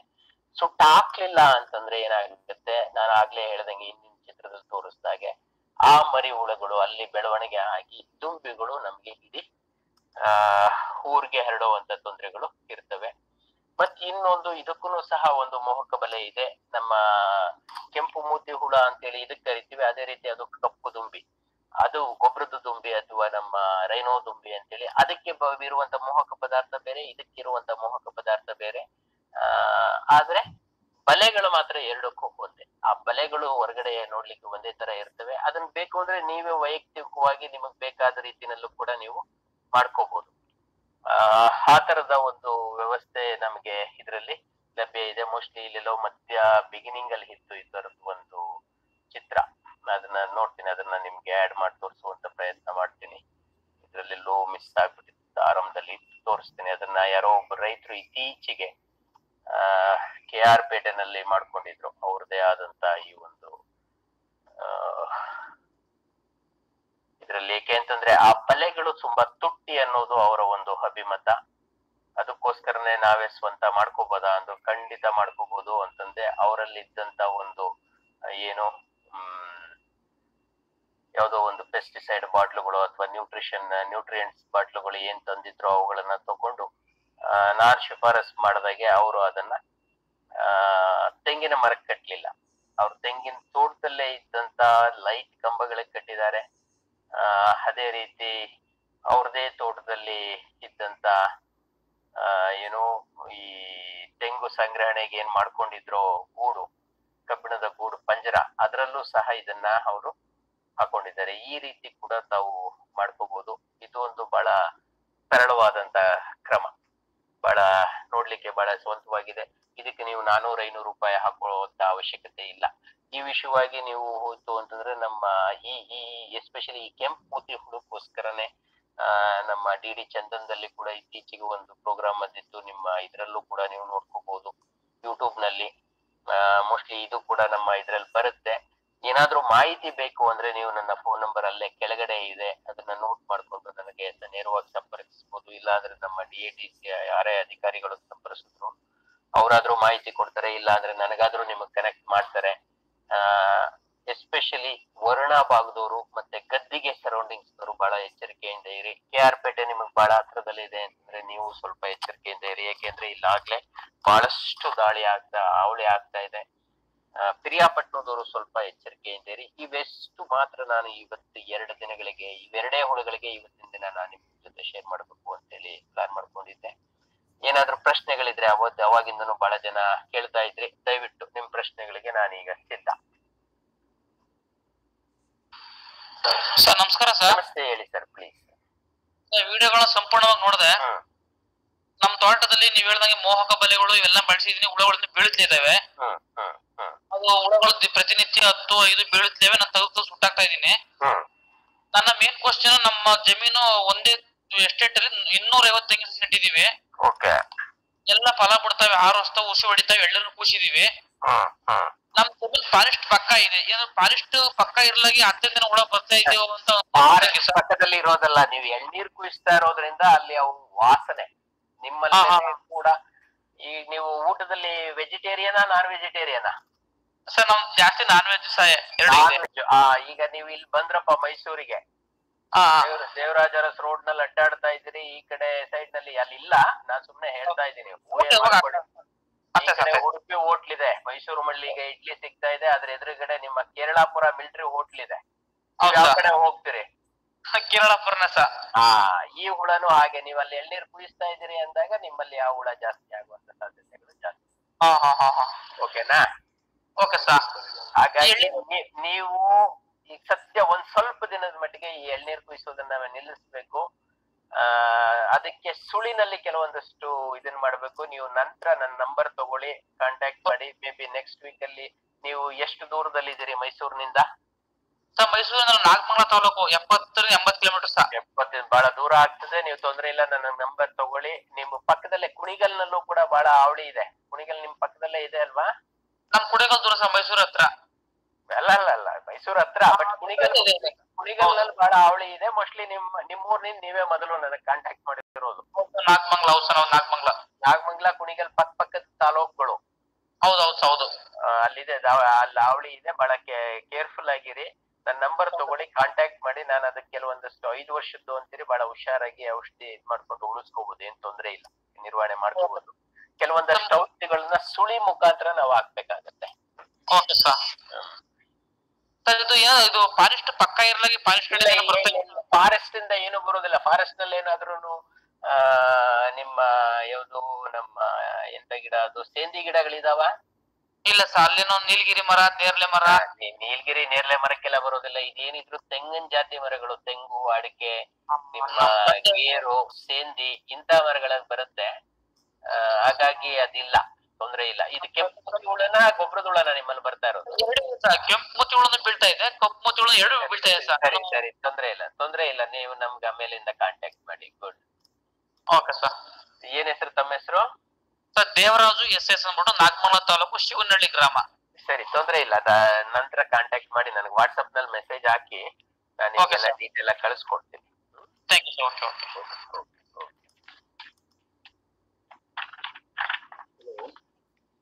ಹೇಳಿ ಸರ್ ಪ್ಲೀಸ್ ಹೇಳಿ. ಸರ್ ನಮಸ್ತೆ ನಾವು ಮಹೇಶ್ವರಪ್ಪ ಅಂತ ಹೊನ್ನಾಳಿ ಅವರು ದಾವಣಗೆರೆ ಡಿಸ್ಟಿಕ್ ಎಸ್ ಸರ್ ಹೇಳಿ. ಸರ್ ತುಂಬಾ ಚೆನ್ನಾಗಿ ಮೂಡ್ ಬಂತು. ನನ್ನ ಡೌಟ್ ನಂದು ಇದಕ್ಕಲ್ಲ ಸರ್ ನಂದು ಈಗ ಏನಾಗಿದೆ ವೈಟ್ ಫ್ಲೇ ಸಿಕ್ಕಾಬಿಟ್ಟೆ ಇದೆ. ಮೂವತ್ತು ವರ್ಷದ ಮರ ನಂದು. ಮುನ್ನೂರು ಮರ ಇದೆ. ಕಮ್ಮಿ ಒಂದು ಮೂವತ್ತು ಮೂವತ್ತೈದು ಅಡಿ ಟಾಲ್ ಹೋಗಿದಾವೆ ಈಗ ಅದಕ್ಕೆ ಆಕ್ಚುಲಿ ನಾವು ಸಿಂಪರಣೆ ಮಾಡೋಕ್ ಆಗೋದಿಲ್ಲ. ಸರಳವಾಗಿ ನೀವೇನು ಅಂತಂದ್ರೆ ತುಂಬಾ ಫ್ರೀಕ್ವೆಂಟ್ ಆಗಿ ಉಳುಮೆ ಮಾಡಬೇಡಿ. ಉಳುಮೆ ಎಷ್ಟು ಫ್ರೀಕ್ವೆಂಟ್ ಆಗಿ ಮಾಡ್ತೀರಿ ನಾವು? ನಾನು ಸುಮಾರು ಒಂದು ಮೂರ್ ತಿಂಗಳಿಗೆ ಒಂದ್ಸರಿ ಮಾಡಿಸ್ತೀನಿ ಕಾಯಿ ಕಾಯಿ ಗೊತ್ತಾಯ್ತು. ಕಾಯಿ ಇಳಿಸ್ಬೇಕಾದ್ರೆ ಉಳುಮೆ ಮಾಡಿ. ಬೇರೆ ಟೈಮ್ನಲ್ಲಿ ಏನಾದ್ರೂ ಬೆಳೆ ಇಟ್ಕೊಳ್ಳಿ. ಆದಷ್ಟು ಈಶ್ವರ್ ಅವ್ರೆ ತಾವು ಮ್ಯೂಟ್ ಮಾಡ್ಕೊಳ್ಳಿ ಆ ನಂತರ ಮಾತಾಡೋರಂತೆ. ದಯವಿಟ್ಟು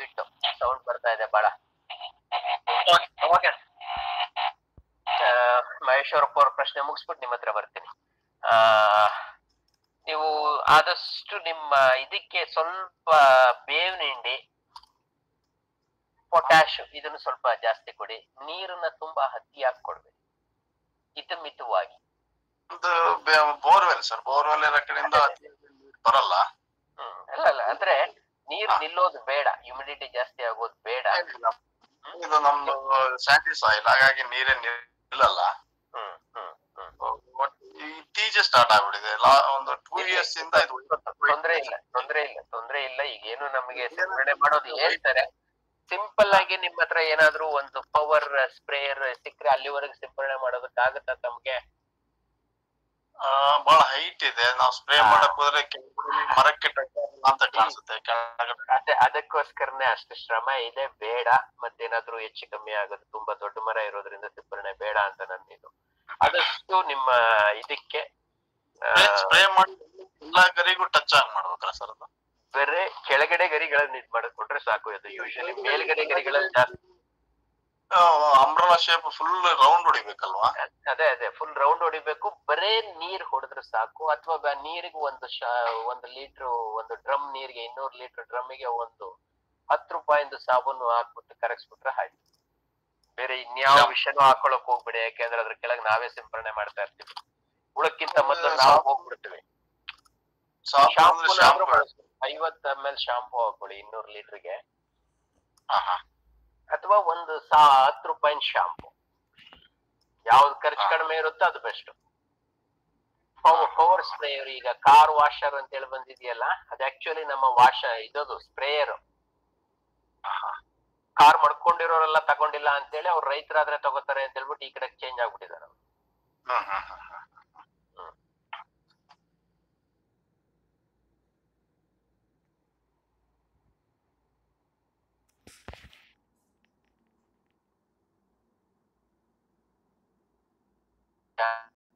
ಇಲ್ಲ ಅದು ಎಲ್ಲ ರೂಟ್ ಎಲ್ಲ ಎಳ್ಕೊಳ್ತು ಅಂತ ಕಾಣಿಸುತ್ತೆ ಬಹಳಷ್ಟು ಸಲ ಬಹಳಷ್ಟು ಮೋಸ ಹೋಗೋದು ಅದೊಂದು ಬಹಳ ವೈಶಿಷ್ಟ್ಯವಾದಂತಹ ಸ್ಕಿಲ್ ಎಲ್ರಿಗೂ ಬರೋದಿಲ್ಲ. ಬೇರು ಹದವಾಗಿರ್ಬೇಕು. ಬೇರ್ ಸ್ವಲ್ಪ ಅಲ್ಗಾಡಿತು ಅಂತಂದ್ರೆ ಅದು ಮೇಲೆ ಕನೆಕ್ಟ್ ಆಗಿ ಆದ್ರೆ ಮೇಲ್ಗಡೆ ಕನೆಕ್ಟ್ ಆಗಿರೋದಿಲ್ಲ. ಯಾಕೆ ಅಂತಂದ್ರೆ ಅದನ್ನ ಹ್ಯಾಂಡಲ್ ಮಾಡ್ಬೇಕಾದ್ರೆ ಬಹಳ ಜತನದಿಂದ ಮಾಡ್ಬೇಕು. ಬಹಳ ಕೇರ್ಫುಲ್ ಆಗಿ ಮಾಡ್ಬೇಕು ಅದು. ಎಲ್ರೂ ಮಾಡ್ಲಿಕ್ಕೆ ಆಗೋದಿಲ್ಲ. ಕೂಡ ಬಹಳ ಹಿಂದೆ ಹೇಳ್ತಾ ಇದ್ರು ಬಟ್ ಈಗ ಯಾರು ಧೈರ್ಯ ಮಾಡಿ ಮಾಡೋದಿಲ್ಲ. ಈಗ ನೀವೇ ನೀವು ಮಾಡಿದಂತ ಬೇರ್ಗಳಲ್ಲಿ ಎಷ್ಟು ಪೂರ್ತಿ ಈರ್ಕೋತು ಅನ್ನೋದನ್ನ ಚೆಕ್ ಮಾಡಿ. ಬಹಳಷ್ಟು ಸಲ ಆ, ಅದು ಹೊರಗಡೆ ಬಂದ್ಬಿಟ್ಟಿರುತ್ತೆ ನೀವು ಎಲ್ಲ ವೇರಿ ಆಗಿರ್ತದೆ. ಬೇರೆ ಇರ್ಕೋತು ಅಂದಿರ್ತೀರಿ ಬಹಳಷ್ಟು ಸಲ ಬೇರೆ ಇರ್ಕೊಂಡಿರೋದಿಲ್ಲ ಅದು ಮಣ್ಣು ಇರ್ಕೊಂಡ್ಬಿಟ್ಟಿರುತ್ತೆ ಹಾಗಾಗಿ ಬಹಳಷ್ಟು ಸಲ ನಾವು ದಾರಿ ತಪ್ಪಿಟ್ಟಿರ್ತೀವಿ ಬಿಟ್ರೆ ಮತ್ತೆ ಬೇರೆ ಏನ್ ಸರ್? ಈಗ ಅದು ಕಂಟ್ರೋಲ್ ಮಾಡಿ ನಾನೇ ಹೇಳಿದ್ನಲ್ಲ ಸಿಂಪರಣೆಗೆ ನಿಮ್ಮಲ್ಲಿ ಅವಕಾಶ ಇಲ್ಲ. ಸ್ವಲ್ಪ ವಿಷ ಮಾಡಬೇಕು ಯಾವ ರೀತಿ ವಿಷ ಮಾಡೋದು ಅಂತಂದ್ರೆ ಸಿಂಪಲ್ ನಿಮ್ಮ ಬೇವಿನ ಹಿಂಡಿಯನ್ನ ಸ್ವಲ್ಪ ಜಾಸ್ತಿ ಹಾಕಿ ಪೊಟ್ಯಾಶ್ ಕೊಡಿ. ಈಗ ಎಷ್ಟು ಪೊಟ್ಯಾಶ್ ಎಷ್ಟು ಕೊಡ್ತಾ ಇದೀರಿ ವರ್ಷಕ್ಕೆ? ಪೊಟ್ಯಾಶ್ ಎರಡು ಕೆಜಿ ಕೊಡಿ. ಎರಡು ಕೆಜಿ ಅದನ್ನ ಒಂದು ಕೆಜಿ ಜಾಸ್ತಿ ಮಾಡಿ ಎರಡು ಅಥವಾ ಮೂರ್ ಸ್ಪ್ಲಿಟ್ ಕೊಡಿ. ಅವಕಾಶ ನೀರಿದೆ ನಾಲ್ಕು ಕೊಡಿ ಹೈಡ್ರೋಜನ್ ಅನ್ನ ಸ್ವಲ್ಪ ಆದಷ್ಟು ಕಡಿಮೆ ಮಾಡಿ. ಕೊಟ್ಟಾಗೆಲ್ಲ ಅದ್ರ ಜೊತೆ ಬೇವಿನಿಂಡಿ ಸಮೇತನೇ ಕೊಡಿ. ನೈಟ್ರೋಜನ್ ಅನ್ನ ಅರ್ಧ ಮಾಡಿ. ಈಗ ಏನ್ ಕೊಡ್ತಾ ಇದ್ದೀರೋ ಏನ್ ಒಂದೂವರೆ ಎರಡು ಕೆಜಿ ಕೊಡ್ತಾ ಇದ್ದೀರೋ ಅದನ್ನ ಅರ್ಧಕ್ಕೆ ಇಳಿಸಿ. ನೀವು ನೈಟ್ರೋಜನ್ ಜಾಸ್ತಿ ಕೊಟ್ಟು ಹುಳ ಕಂಟ್ರೋಲ್ ಆಗ್ಲಿಲ್ಲ ಅಂದ್ರೆ ಆಗೋದಿಲ್ಲ. ಅದು ಯಾವಾಗ್ಲೂ ಅಷ್ಟೇ. ಒಂದಕ್ಕೊಂದು ಸಂಬಂಧ ಇದೆ. ನ್ಯಾಚುರಲ್ ಎನಿಮೀಸ್ ನ್ಯಾಚುರಲ್ ಎನಿಮೀಸ್ ಇದಾವೆ ಅದರಲ್ಲಿ. ನೀವು ಅಲ್ಲೇ ಹೊನ್ನಾಳಿ ಅಂತೀರಿ ಅಲ್ಲೇ ಪಕ್ಕದಲ್ಲಿ ನಮ್ಮ ಅರಸೀಕೆರೆ ಸ್ಟೇಷನ್ಗೆ ಒಂದ್ಸಲ ಭೇಟಿ ಮಾಡಿ ನಮ್ಮ ತೆಂಗಿನ ಸಂಶೋಧನಾ ಕೇಂದ್ರ ಇದೆ. ಅವರಲ್ಲಿ ಒಂದು ಯೋಜನೆ ಇದೆ ಈ ಜೈವಿಕ ಶಸ್ತ್ರಗಳನ್ನ ಉತ್ಪಾದನೆ ಮಾಡಿ ನಿಮಗೆ ಕೊಡುವಂತದ್ದು ಅಲ್ಲಿ ಅವ್ರನ್ನ ಅಪ್ರೋಚ್ ಮಾಡಿ. ಡಾಕ್ಟರ್ ಚಂದ್ರಶೇಖರ್ ಅಂತ ಇರ್ತಾರೆ ಅವ್ರಿಗೆ ಅಪ್ರೋಚ್ ಸಿಗುತ್ತೆ ನೀವು ನನಗೆ ಆಮೇಲಿಂದ ಮೆಸೇಜ್ ಮಾಡಿ ನಾನು ಕಳಿಸ್ಕೊಡ್ತೀನಿ. ಕೆಲವರು ಉಪ್ಪು ತಿನ್ನೋ ಉಪ್ಪಿದೆಯಲ್ಲ ಸರ್ ಅದೊಂದು ಕೆಜಿ ಜಿ ಇನ್ನು ಉಪ್ಪು ಹಾಕೋದು ಏನಕ್ಕೆ ಅಂತಂದ್ರೆ ಅದು ಬೇರು ಬಹಳ ಆರಾಮಾಗಿರ್ಬೇಕು ಅನ್ನೋಂಥದ್ದು ಮರಳಲ್ಲಿ ಬೆಳೆದಂತ ತೆಂಗಿನ ಮರ ನಿಮ್ದು ಮರಳು ಭೂಮಿ ಆಲ್ರೆಡಿ ಮತ್ತೆ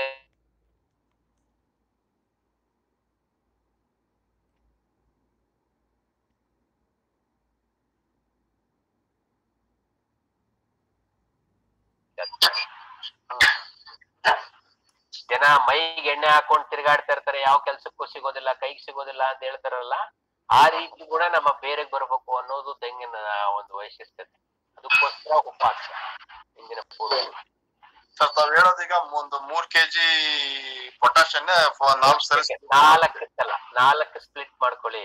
ಏಳ್ನೂರ ಐವತ್ ಗ್ರಾಮ್ ಏಳ್ನೂರ ಐವತ್ ಗ್ರಾಮ್ ಏಳ್ನೂರ ಐವತ್ ಗ್ರಾಮ್ ಮೂರ್ ಬೇವಿನ ಹಿಂಡಿ ಬೇವಿನ ಎಷ್ಟು ಹಾಕ್ಬೇಕು ಬೇವಿನ ಹಿಂಡಿ ಹಾಕಿ ಒಂದ್ ಹತ್ ಕೆಜಿ ಪ್ರತಿ ವರ್ಷಕ್ಕೆ ಅಂದ್ರೆ ಎರಡೂವರೆ ಕೆಜಿ. ಪ್ರತಿ ಸಲ ತಿಂಗಳಿಗೆ ಒಂದ್ಸಲ ಉಳುಮೆ ಮಾಡ್ತಿರಲ್ಲ? ಅವಾಗ ಇದನ್ನ ಇದ್ ಮಾಡಿ ಆದಷ್ಟು ಆಳವಾಗಿ ಉಳುಮೆ ಮಾಡ್ಬೇಡಿ. ಉಳುಮೆ ಮೇಲ್ಗಡೆ ಒಂದ ಮ್ಯಾಕ್ಸಿಮಮ್ ಆರ್ ಇಂಚು ಗಿಡದಿಂದ ನಾಲ್ಕಡಿ ಅಡಿ ದೂರ ಹೋಗ್ಲೇಬೇಡಿ. ಗಿಡದಿಂದ ನಾಲ್ಕಡಿ ಅಡಿ ಬಿಟ್ಟು ಅದು ಗಿಡದ ಹತ್ರಕ್ಕೆ ಹೋಗ್ಬೇಡಿ ನೀವು. ಬೇಕಂದ್ರೆ ಗಿಡ ಬೇಕು ಹೋಗ್ಬೇಕು ಅಂದ್ರೆ ನೀವೇ ಒಂದು ದನನೋ ಒಂದು ಕುರಿನೋ ತಗೊಂಡು ಅದ್ರ ಸುತ್ತ ಸುತ್ತಿ ಇರೋ ಕಳೆ ಕಸ ಎಲ್ಲ ಟ್ರಾಂಪಲ್ ಆಗ್ಬಿಡ್ತಾರೆ ವಾಕಿಂಗ್ ಮಾಡೋ ಬದಲು ಗಿಡ ಸುತ್ತ ದಿನಕ್ಕೆ ಒಂದೊಂದು ಗಿಡ ಅಂತ ವಾಕ್ ಮಾಡ್ಕೊತ ಬಂದ್ಬಿಟ್ರೆ ನಿಮ್ ಇನ್ನೂರ ಐವತ್ತು ಗಿಡನೂ ವಾಕ್ ಆಗೋಯ್ತು ಮಾಡಲ್ಲ ಸರ್ ಏರಾ ಅಂತ ಬರುತ್ತಲ್ವಾ? ಏರ. ಹಾ, ಒಂಬತ್ತು ಬರಳಿ ಇದಿರಲ್ಲ ಬೇಡ ತುಂಬಾ ಅದ್- ಅದನ್ನ ದಯವಿಟ್ಟು ಗಿಡದಿಂದ ನಾಲ್ಕು ಅಡಿ ದೂರದಿಂದಲೇ ಬಳಸಿ ಅಲ್ಲಿ ಪಕ್ಕದಲ್ಲೇ ಕೆಳ್ತಾ ಇದ್ರೆ ವೀಕ್ ಆಗುತ್ತೆ ಗಿಡ. ಇಮ್ಯುನಿಟಿ ಹೋಗುತ್ತೆ. ಮೊನ್ನೆ ಕರೋನಾ ಬಂದಾಗ ನೀವು ಇಮ್ಯುನಿಟಿ ಇದ್ದವ್ರು ಯಾರು ಇಲ್ಲ ಈಗ ನಮ್ ಜೊತೆ. ನೀವೆಲ್ಲ ನಾವು ನೀವೆಲ್ಲ ಉಳ್ಕೊಂಡಿದೀವಿ ಅಂದ್ರೆ ಸ್ವಲ್ಪ ಇಮ್ಯುನಿಟಿ ಇದೆ. ನಿಮ್ ತೆಂಗಿನ ಮರ ಈಗ ಇಮ್ಯುನಿಟಿ ಕಳ್ಕೊಂಡಿದೆ ಅದನ್ನ ಉಳಿಸ್ಕೊಳ್ಳಿ. ಆ ಇಮ್ಯುನಿಟಿ ಹೋಗ್ತಾ ಇರೋದಕ್ ಕಾರಣ ನೀವು ಅಲ್ಲಿ ಅದನ್ನ ಕೆರಿತಾ ಇರೋದು. ಬೇರ್ ಬೆಳೆಯೋದಕ್ಕೆ ಅವಕಾಶನೇ ಕೊಡ್ತಾ ಇಲ್ಲ ನೀವು. ಬೆಳೆದಂತ ಬೇರುಗಳು ಗಿಡಕ್ಕೆ ಸಪೋರ್ಟ್ ಮಾಡ್ತಾ ಇಲ್ಲ ಅದು ಬರೀ ಬೇರ್ ಬೆಳೆಸ್ಕೊಳ್ಳೋದ್ರಲ್ಲೇ ಜೀವನ ಕಳೀತಾ ಇದೆ. ಸರ್ ನಮಸ್ತೆ ಹೇಳಿ ಸರ್. ನಾನು ಮಾತಾಡ್ತಾ ಇರೋದು.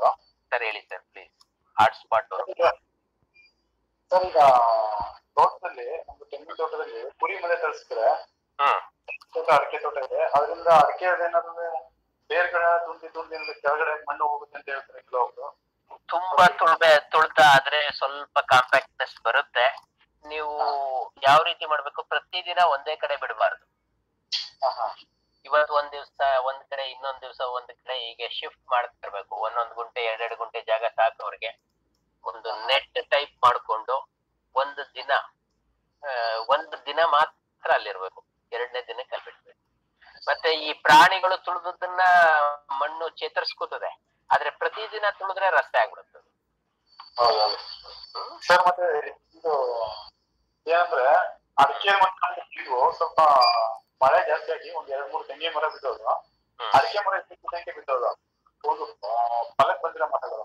ಅವು ಏನಾಗಿದಾವೆ ಅಂತ ಚೆಕ್ ಮಾಡಬೇಕು ಸೊ ಯಾಕೆ ಬಿದ್ದಿದಾವೆ ಅಂದ್ರೆ ಇಲ್ಲ ಹುಳ ಇರಬೇಕು ಇಲ್ಲ ರೋಗ ಇರ್ಬೇಕು ನೀವು ನನಗೆ ಹುಳ ಕಾಂಟ್ಯಾಕ್ಟ್ ಮಾಡಿ ಕಾಂಟ್ಯಾಕ್ಟ್ ಮಾಡಿ ನನಗೆ ದಯವಿಟ್ಟು ಜೊತೆಗೆ ನಿಮ್ ಸ್ಪಾಟ್ ಅಲ್ಲಿ ಇರ್ಬೋದು ನೋಡ್ಕೊಂಡಿಲ್ಲ ನೀವು ಅಷ್ಟೇ ಮಣ್ಣು ಸರ್ ನಮ್ಮ ತಂದೆ ಹೇಳ್ತಾರೆ ಜಮೀನಿಗೆ ಅಡಿಕೆ ತೋಟ ಮತ್ತೆ ತೆಂಗಿನ ತೋಟಕ್ಕೆ ಮಣ್ಣು ಹೊಡ್ಸಿದ್ರೆ ಹ್ಮ್. ಇಳುವರಿ ಚೆನ್ನಾಗಿ ಬರ್ತದೆ ಅಂತ ಹೇಳ್ತಾರೆ ಸರ್ ಅದ್ರ ಮಣ್ಣು ಹೊಡ್ಸಿದ್ರೆ ನಾವು ಬೇರು ಬೇರು ಮೇಲ್ಗಡೆ ಕಾಣಿಸ್ಬೇಕು ನಮಗೆ ಬೇರು ಮುಚ್ಚೋಗ್ಬಾರ್ದು ಹಾ, ಹಾ. ಮಣ್ಣು ಹೊಡಿಸ್ತೀವಿ ನೀವು ಕೆರೆ ಸಿಲ್ ಕೆರೆದು ಆ, ಏನು ಬಹಳ ಗಟ್ಟಿಯಾಗಿರುವಂತ ಮಣ್ಣು ಬಿತ್ತು ಉಸಿರಾಡಕ್ ಆಗ್ಲಿಲ್ಲ ಅಂದ್ರೆ ಕಷ್ಟ ಆಗುತ್ತೆ ಮಣ್ಣು ನೀವು ಎಲ್ಲಾದ್ರೂ ಬೇಕಾದ್ರೆ ಉಸಿರಾಡುವಂತ ಮರಳು ತಂದು ಹೊಡಿಸಿ ನಡೆಯುತ್ತೆ ಆದ್ರೆ ಕೆರೆ ಗೋಡು ಹೊಡಿಸಿದ್ರೆ ಬಹಳ ಕಷ್ಟ ಈಗಾಗ್ಲೇ ನಮ್ಮ ದಾವಣಗೆರೆ ಚಿತ್ರದುರ್ಗದವರೆಲ್ಲ ಬಹಳ ಒದ್ದಾಡ್ತಾ ಇದ್ದಾರೆ ಅವ್ರ ಮಧ್ಯೆ ಭತ್ತದ ಗದ್ದೆನಲ್ಲಿ ಅಡಿಕೆ ನೆಟ್ಟು ಬಿಟ್ಟಿದ್ದಾರೆ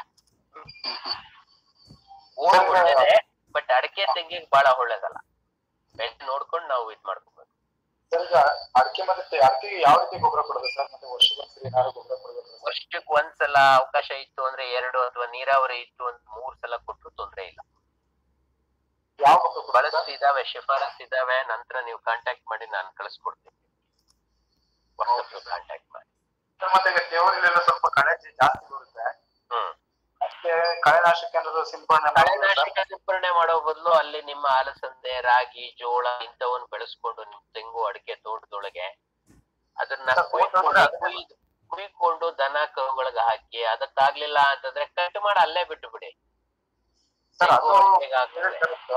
ಬಟ್ ಇದು ಬದು ಇದೆ ಸರ್ ದೇವ್ರಿ ಇದೆಯಲ್ಲ? ಬದುನಲ್ಲಿ ನಿಮ್ಮ ತೊಗರಿ ಗಿಡ ನೆಡಿ. ಅದು ಏನ್ ತೊಂದ್ರೆ ಇಲ್ಲ ನಮ್ಗೇನ್ ಅಲ್ಲಿ ಇಳುವರಿ ಲಾಭ ತಗೊಳಕ್ ಮಾಡ್ತಾ ಇಲ್ಲ ನಾವು.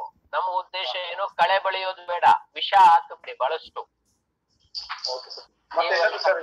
ಮನೆಗೆ ಹಸಿ ತರಕಾರಿ ಬೇಕಾದಷ್ಟು ಸಿಗ್ತವೆ ನಿಮ್ ಮನೆಯವರು ತೋಟಕ್ಕೆ ಹೋಗ್ತಾರೆ ಹಸಿ ಕಾಯಿ ಕಿತ್ಕೊಂಡ್ ಬರ್ತೀನಿ ಅಂತ.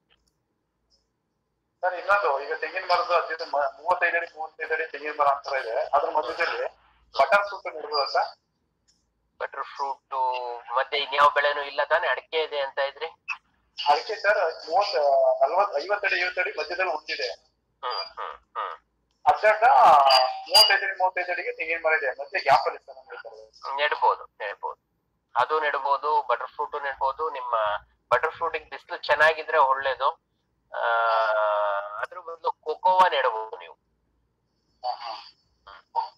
ಸರ್ ಮತ್ತೆ ಮರ ಕ್ಲೀನ್ ಮಾಡಿದ್ರೆ ಚೆನ್ನಾಗಿ ಫಲ ಬರುತ್ತೆ ಅಂತ ಕೆಲವರು ಸುಮಾರು ವರ್ಷಕ್ಕೆ. ಒಂದು ಸಲ ಬುಡ ಮೇಲ್ಗಡೆ ಸುಳಿನ ಕ್ಲೀನ್ ಮಾಡಬೇಕು. ಸ್ವಚ್ಛ ಅದು ನೇತಾಡ್ತಾ ಇರ್ಬೋದು. ಗರಿಗಳು ನ್ಯಾಚುರಲ್ ಆಗಿ ಅವೇ ಬೀಳ್ತವೆ. ಬೈ ಚಾನ್ಸ್ ಏನಾದ್ರು ಎಳೆ ಪ್ರಾಯದಲ್ಲಿ ಬಿಡೋದಿಲ್ಲ. ಆ ಟೈಮ್ನಲ್ಲಿ ಬೆಳೆಸ್ಕೊ ಸ್ವಚ್ಛ ಮಾಡ್ಕೊಳ್ಳೋದು ಒಳ್ಳೇದು. ಸರ್ ಈಗ ನಮ್ಮ ಸ್ನೇಹಿತರಿಗೆ ಹೇಳಿದ್ರೆ ದೇವರಾಜ್ ಅವ್ರ ಜೊತೆ ಮಾತಾಡಿದ್ರೆ ಎಳ್ನೀರ್ ಕಟ್ ಮಾಡ್ಬಿಡಿ ನಿಮ್ಗೆ ಹುಳು ಜಾಸ್ತಿ ಬರುತ್ತೆ ಅಂತ. ಈಗ ಚಿಕ್ಕ ಮರಗಳು ಸರ್ ಸಸ್ಯಗಳಲ್ಲಿ ಎಳ್ನೀರ್ ಕಟ್ ಮಾಡಿದ್ರೆ ಎಲ್ಲ ಕೊನೆನೆ ಹಂಗೆ ಮುರಿದಂಗೆ ಹೋಗುತ್ತೆ ಸರ್. ಫುಲ್ ಬೆಂಡ್ ಆಗುತ್ತೆ ಆಮೇಲೆ ಫುಲ್ ಕೊನೆನೆ ಬಿದ್ದೋಗುತ್ತೆ ಅವಾಗ ಏನು ಪ್ರಯೋಜನ ಸರ್? ಕಡೆಗೆ ಎಳ್ನೀರು ಕಟ್ ಗೊತ್ತಾಯ್ತು ಗೊತ್ತಾಯ್ತು ಅದು ಮೋಸ್ಟ್ಲಿ ಪೋಷಕಾಂಶದ ಕೊರತೆ ಅಥವಾ ಮಣ್ಣಿನಲ್ಲಿ ಏನೋ ಕೊರತೆ ಇದೆ. ಮತ್ತೆ ತಳಿಗಳಲ್ಲಿ ಕೂಡ ಆ ತರದ ತೊಂದರೆ ಇರುತ್ತೆ. ಆ ತಾಯಿ ಮರ ಹೇಗಿತ್ತು ಅದರಿಂದ ಬಂದ ಗುಣ ಇಲ್ಲೂ ಕಂಟಿನ್ಯೂ ಆಗ್ಬಿಟ್ಟಿದೆ. ಆ, ಆಗ್ ವಿಧಿ ಇಲ್ಲ ಎಳ್ನೀರ್ ಕಟ್ ಮಾಡಿಸ್ಬೇಕು ಬಟ್ ಈ ಹುಳ ಬರ್ತದೆ ಅಂದ್ರೆ ಎರಡು ಜೊತೆಲಿ ಹೋಗಕ್ ಆಗುದಿಲ್ಲ ನೀವು ಹುಳ ಬೇಡ ಅಂತಂದ್ರೆ ಅದನ್ನ ಬಿಡ್ಬೇಕು. ಹುಳನು ಸಾಕ್ತೀನಿ ಎಳ್ನೀರು ಮಾಡ್ತೀನಿ ಅಂತಂದ್ರೆ ಆ, ಅದಕ್ಕೆ ತಯಾರಾಗಿರ್ಬೇಕು. ಎಲ್ಲದಕ್ಕೂ ನೀವು ತಯಾರಾಗಿದ್ರೆ ಏನ್ ಬೇಕಾದ್ರೂ ಸರ್ ಕೊಡಿ ಕೊಡಿ. ಮೆಸೇಜ್ ತುಂಬ ಧನ್ಯವಾದ ಸರ್ ಸರ್ ನಮಸ್ಕಾರ. ನಮಸ್ಕಾರ. ಹೇಳಿ ಸರ್ ಪ್ಲೀಸ್ ಡಾಕ್ಟರ್ ರವಿ ಅಂತ. ನಾನು ಸಣ್ಣ ತಂಗಿ ತೂಕ ಮಾಡಿದ್ದು. ಸರ್ ಈ ವರ್ಷ ತುಂಬಾ ಬಟನ್ ಶೆಡ್ಡಿಂಗ್ ತುಂಬಾ ಜಾಸ್ತಿ ಆಗಿದೆ. ಈ ವರ್ಷ ಅಂತಂದ್ರೆ ಇಪ್ಪತ್ನಾಲ್ಕರಲ್ಲ ಇಪ್ಪತ್ ಮೂರಲ್ಲ ಸರ್ ಏನಂದ್ರೆ ನಮ್ ಪೊಟ್ಯಾಶ್ ಎಲ್ಲ ಪೋಷಕಾಂಶಗಳು ಸರಿಯಾಗಿ ನೀರು ಹೇಗಿದೆ ವಾತಾವರಣ ಹೇಗಿದೆ ಬಿಸಿಲೆ ಆಗಿತ್ತು. ಇವಾಗ ಏನೋ ತಣ್ಣ ಕೂತ್ಕೊಂಡು ಮಾತಾಡ್ತಾ ಇದೀರ ಒಂದು ತಿಂಗಳ ಹಿಂದೆ. ಹೇಗಿದ್ರಿ ಹೌದು? ಅದೇ ತೇವಾಂಶ ಇದೆ ನಮ್ಮ ತೇವಾಂಶದ ಕೊರತೆ ವಾತಾವರಣ ತುಂಬಾ ವೈಪರೀತ್ಯಕ್ಕೆ ಹೋಗಿತ್ತು. ಮತ್ತೆ ಎಷ್ಟು ವರ್ಷದ ಗಿಡ ತಮ್ದು? ಈಗ ಎಂಟೂವರೆ ವರ್ಷ ಆಗಿದೆ ಇರ್ಲಿ ಇರ್ಲಿ ತೊಂದ್ರೆ ಇಲ್ಲ. ಆರಂಭದ ವರ್ಷಗಳಲ್ಲಿ ಸ್ವಲ್ಪ ಬಟನ್ ಶೆಟ್ಟಿಂಗ್ ಜಾಸ್ತಿ ಇರುತ್ತೆ. ಈಗ ಒಂದು ಗೊನೆನಲ್ಲಿ ಎಷ್ಟು ಕಾಯಿ ಕಚ್ಚುತ್ತಾ ಇದಾವೆ ಎಷ್ಟು ಎಳ್ನೀರ್ ಹಂತ ಬರ್ತಾ ಇದಾವೆ ಒಂದ್ ಇಪ್ಪತ್ ಬರ್ತಾ ಇದಾವ? ಬರ್ತದೆ ಸರ್. ಬರ್ತದೆ. ಇಪ್ಪತ್ತಕ್ಕೆ ಸಾಕು ಖುಷಿ ಪಡಿದೆ ಕೆಲವ್ರದ್ದು ಐದು ವಾರ ಇದಾವೆ ಇಲ್ಲ ಗ್ರಾಜುವಲಿಗೆ ನೀವು ಸ್ವಲ್ಪ ಆರ್ಗ್ಯಾನಿಕ್ ಮ್ಯಾಟ್ ಸ್ವಲ್ಪ ಜಾಸ್ತಿ ಮಾಡ್ಕೊಂಡು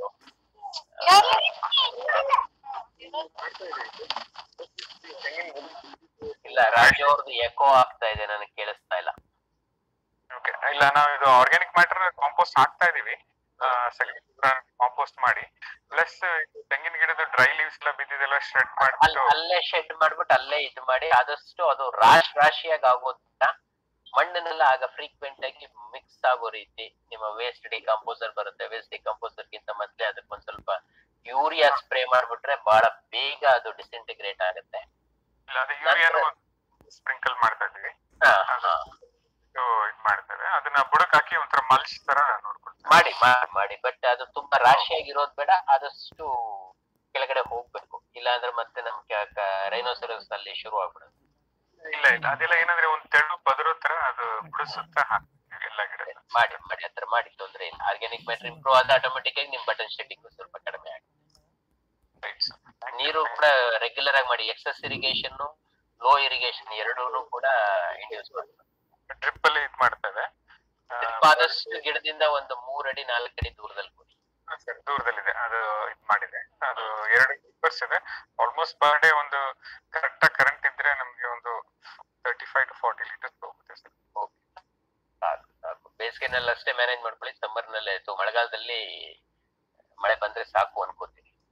ಯಾವ ಊರು ತಮ್ಮದು ಆ ನಂಜನಗೂಡು ಹತ್ರ ಬಸವಪುರ ಅಂತ ಬರುತ್ತೆ. ಅಲ್ಲಿ. ಮಳೆ ಚೆನ್ನಾಗೇ ಬರುತ್ತೆ ನಿಮ್ಗೆ. ಹಾ ಬಂದಿದೆ ಸರಿ ಸರಿ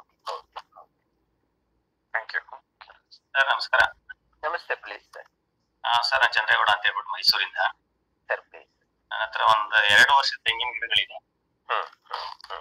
ಹಳೆ ಗರಿಗಳನ್ನ ಕಟ್ ಮಾಡ್ಬೇಕು ಮಾಡಬಾರ್ದು. ಒಣಗಿದ್ರೆ ಅವನ್ನ ಕೇರ್ಫುಲ್ ಆಗಿ ಕಟ್ ಮಾಡಿ ಗಿಡಕ್ ಗಾಯ ಮಾಡಬೇಡಿ ಬುಡಕ್ಕೆ. ಬುಡಕ್ಕೆ ಓಕೆ ಹಸಿ ಇರೋದನ್ನ ಹಸಿ ಇರೋದನ್ನ ಯಾವ್ದೇ ಕಾರಣಕ್ಕೂ ಕಟ್ ಮಾಡ್ಬೇಡಿ. ಒಣಗಿದ್ದನ್ನ ಯೂಶ್ವಲಿ ಈ ಮಳೆ ಗಿಳೆ ಬಂದಂತ ಮಳೆ ಮ- ಒಂದ್ ಎರಡು ದಿನ ಮೂರ್ ದಿನ ಬಿಟ್ಟು ಅದನ್ನ ಹಿಂಗ್ ಜಗ್ಗಿದ್ರೆ ಬಂದ್ಬಿಡುತ್ತೆ ತನ್ನಿಂದ ತಾನೆ ಓಕೆ ಅದ ಪ್ರಯತ್ನ ಮಾಡ್ತೀನಿ. ಬರ್ಲಿಲ್ಲ ಅಂದ್ರೆ ಮಾಡಿ ಜಗಳ ಮಾಡಕ್ ಹೋಗ್ಬೇಡಿ. ಬರ್ಲಿಲ್ಲ ಅಂದ್ರೆ ಬಿಟ್ಬಿಡಿ ಇನ್ನೊಂದ್ ಮಳೆ ಕಿತ್ಕೊಂಡ್ರೆ ಆಯ್ತು ಓಕೆ ಜಗಳ ಮಾಡಿ ಗಾಯ ಮಾಡಬೇಡಿ okay sir okay thank you sir sir Ramakrishna ಅಂತ ಹೇಳಿ sir sir please sir please ಕುಣಿ ಕುಣಿಗಲ ರಾಮಕೃಷ್ಣ ನಮ್ಮ ಹಳೆ ರೈತರು ಪ್ಲೀಸ್ ಹೌದು. ಹೇಳಿ ಸರ್ ಪ್ಲೀಸ್ ಸರ್ ಈಗ ಈಗ ಕಂಟ್ರೋಲ್ ಬಂದಿದ್ಯಾ ಆ, ಸ್ವಲ್ಪ ಪರವಾಗಿಲ್ಲ ಸರ್ ಈಗ ಪ್ರಾಬ್ಲಮ್ ಹೊಸ ಗಿಡಗಳೇ ಇಲ್ಲ ಸರ್ ಎಲ್ಲ ಕಿತ್ತಿ ಬೇರೆ ಗಿಡ ಹಾಕಿ- ಎಲ್ಲಾ ರೈತರಿಗೆ ನನ್ನ ಇಲಾಖೆ ಮಿತ್ರರಿಗೆ ನಾನು ಹೇಳ್ತೀನಿ ರಾಮಕೃಷ್ಣ ಅವರು ಫಸ್ಟ್ ನನಗೆ ರೆಡ್ ಫಾರ್ಮ್ ಇವೆಲ್ನ ಪರಿಚಯಿಸಿದವರು ಕುಣಗಲ್ನವರು ಅವರು ಆ ಟ್ರ್ಯಾಪ್ಗಳು ನಿಮ್ಗೆ ಇವತ್ತು ಅವ್ರ ವಿಡಿಯೋ ಕನೆಕ್ಟ್ ಆಗ್ಲಿಲ್ಲ ಯಾಕೆಂದ್ರೆ ನಂದು ಸಿಸ್ಟಮ್ಗಳು ಪ್ರಾಬ್ಲಮ್ ಆಗಿ ನನ್ನ ಸಿಸ್ಟಮ್ ಇಂದ ಬೇರೆ ಸಿಸ್ಟಮ್ ಹೋಗಿ ಅವ್ರು ಹಾಕಿರುವಂತ ವಿಡಿಯೋ ಇಲ್ಲಿ ಪ್ಲೇ ಮಾಡ್ಲಿಕ್ಕೆ ಆಗ್ಲಿಲ್ಲ ನನಗೆ. ಆ, ಬಹಳ ಬ್ಯೂಟಿಫುಲ್ ಆಗಿ ಟ್ರಾಪ್ ಗಳನ್ನ ಅವರೇ ಮಾಡ್ಕೊಂಡಿದ್ದಾರೆ. ಸರ್ ತಮ್ಮ ಟ್ರ್ಯಾಪ್ ಖರ್ಚು ಎಷ್ಟು ಬಿತ್ತು ಹೇಳಿ ಸರ್ ಇವ್ರಿಗೆ ದಯವಿಟ್ಟು? ಸರ್ ಅದು ಇದು ಟ್ರ್ಯಾಪ್ಗೆ ಇದು ಬರುತ್ತಲ್ಲ ಸರ್ ಕೆಮಿಕಲ್ ಮತ್ತೆ ಇದು ಅಷ್ಟೇ ದುಡ್ಡಾಗಿದ್ದು.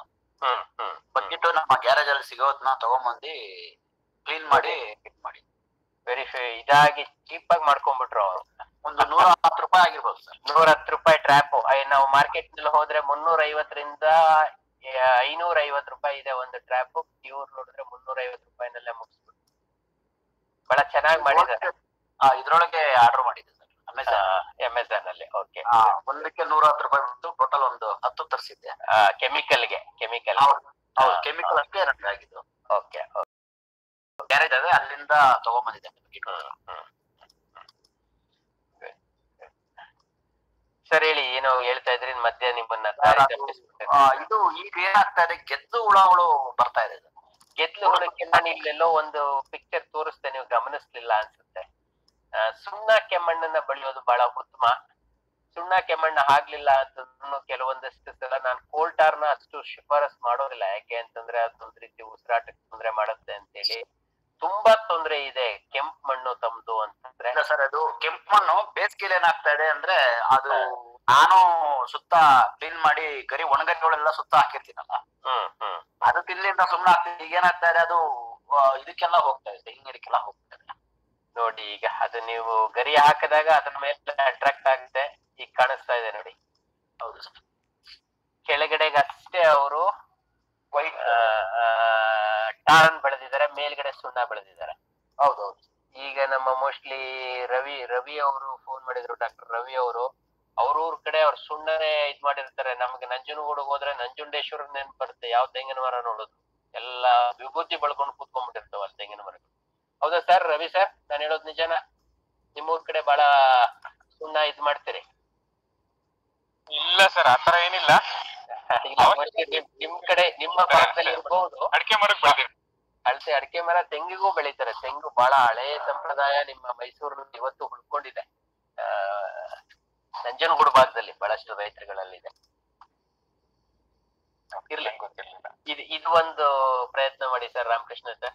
ಸರ್ ಮಾಡ್ತೀವಿ ಸರ್. ಮತ್ತೆ ಇನ್ನೊಂದು ಈ ಹಳೆ ಮರಗಳು ಹೋಗ್ತಾ ಇದಾವೆ ಸರ್. ಸುಳಿ ಮುರಿದು ಹೋಗ್ತಾ ಇದಾವೆ ಸುಳಿ ಏನಕ್ಕೆ ನಮ್ಮ ಹುಳಕ್ಕೆ ಹೋಗ್ತಾ ಇದೆಯಾ ಹಾಗೆ ಅನ್ನೋದು ಕನ್ಫರ್ಮ್ ಮಾಡ್ಕೊಳ್ಳಿ. ಮತ್ತೆ ಅವನ್ನ ಸುಳಿ ಓದವನ್ನ ದಯವಿಟ್ಟು ಈಗ ಹೇಳ್ದಂಗೆ ಆ ಮರಕ್ಕೆ ಏನಾದ್ರೂ ಉಪಯೋಗ ಆಗ್ತದೆ ಉಳ್ಕೊಂಡಿದೆ ಅಂದ್ರೆ ಅದನ್ನ ಮರಕ್ಕೆ ಉಪಯೋಗಿಸ್ಕೊಳ್ಳಿ. ಮೇಲ್ಗಡೆ ಭಾಗ ಎಲ್ಲಿ ಡ್ಯಾಮೇಜ್ ಆಗಿರುತ್ತೋ ಅದನ್ನೆಲ್ಲ ಭೂಮಿ ಒಳಗೆ ಇದ್ರೊಳಗೆ ನೀರೊಳಗೆ ಮುಳುಗಿಸ್ಕೊಳ್ಳಿ ಕೆರೆ ಇದಾವೆ ಕ್ಲೀನ್ ಮಾಡ್ಬಿಟ್ಟಿದೀನಿ ಬಟ್ ಅದ್ರೊಳಗೆ ಏನು ಸಿಕ್ಕಿಲ್ಲ ಸರ್ ಆತರ ಏನು ಸಿಕ್ಕಿಲ್ಲ. ಏನು ಸಿಕ್ಕಿಲ್ಲ. ಅದು ನಮ್ಮ ಬಡ್ರಾಟ್ ಬಂದಿರ್ಬೋದು ಅನ್ಕೋತೀನಿ ನೀವು. ಅದು ಪಿಕ್ಚರ್ ಕಳಿಸಿ ನೋಡೋಣ. ಸರಿ sir okay thank you sir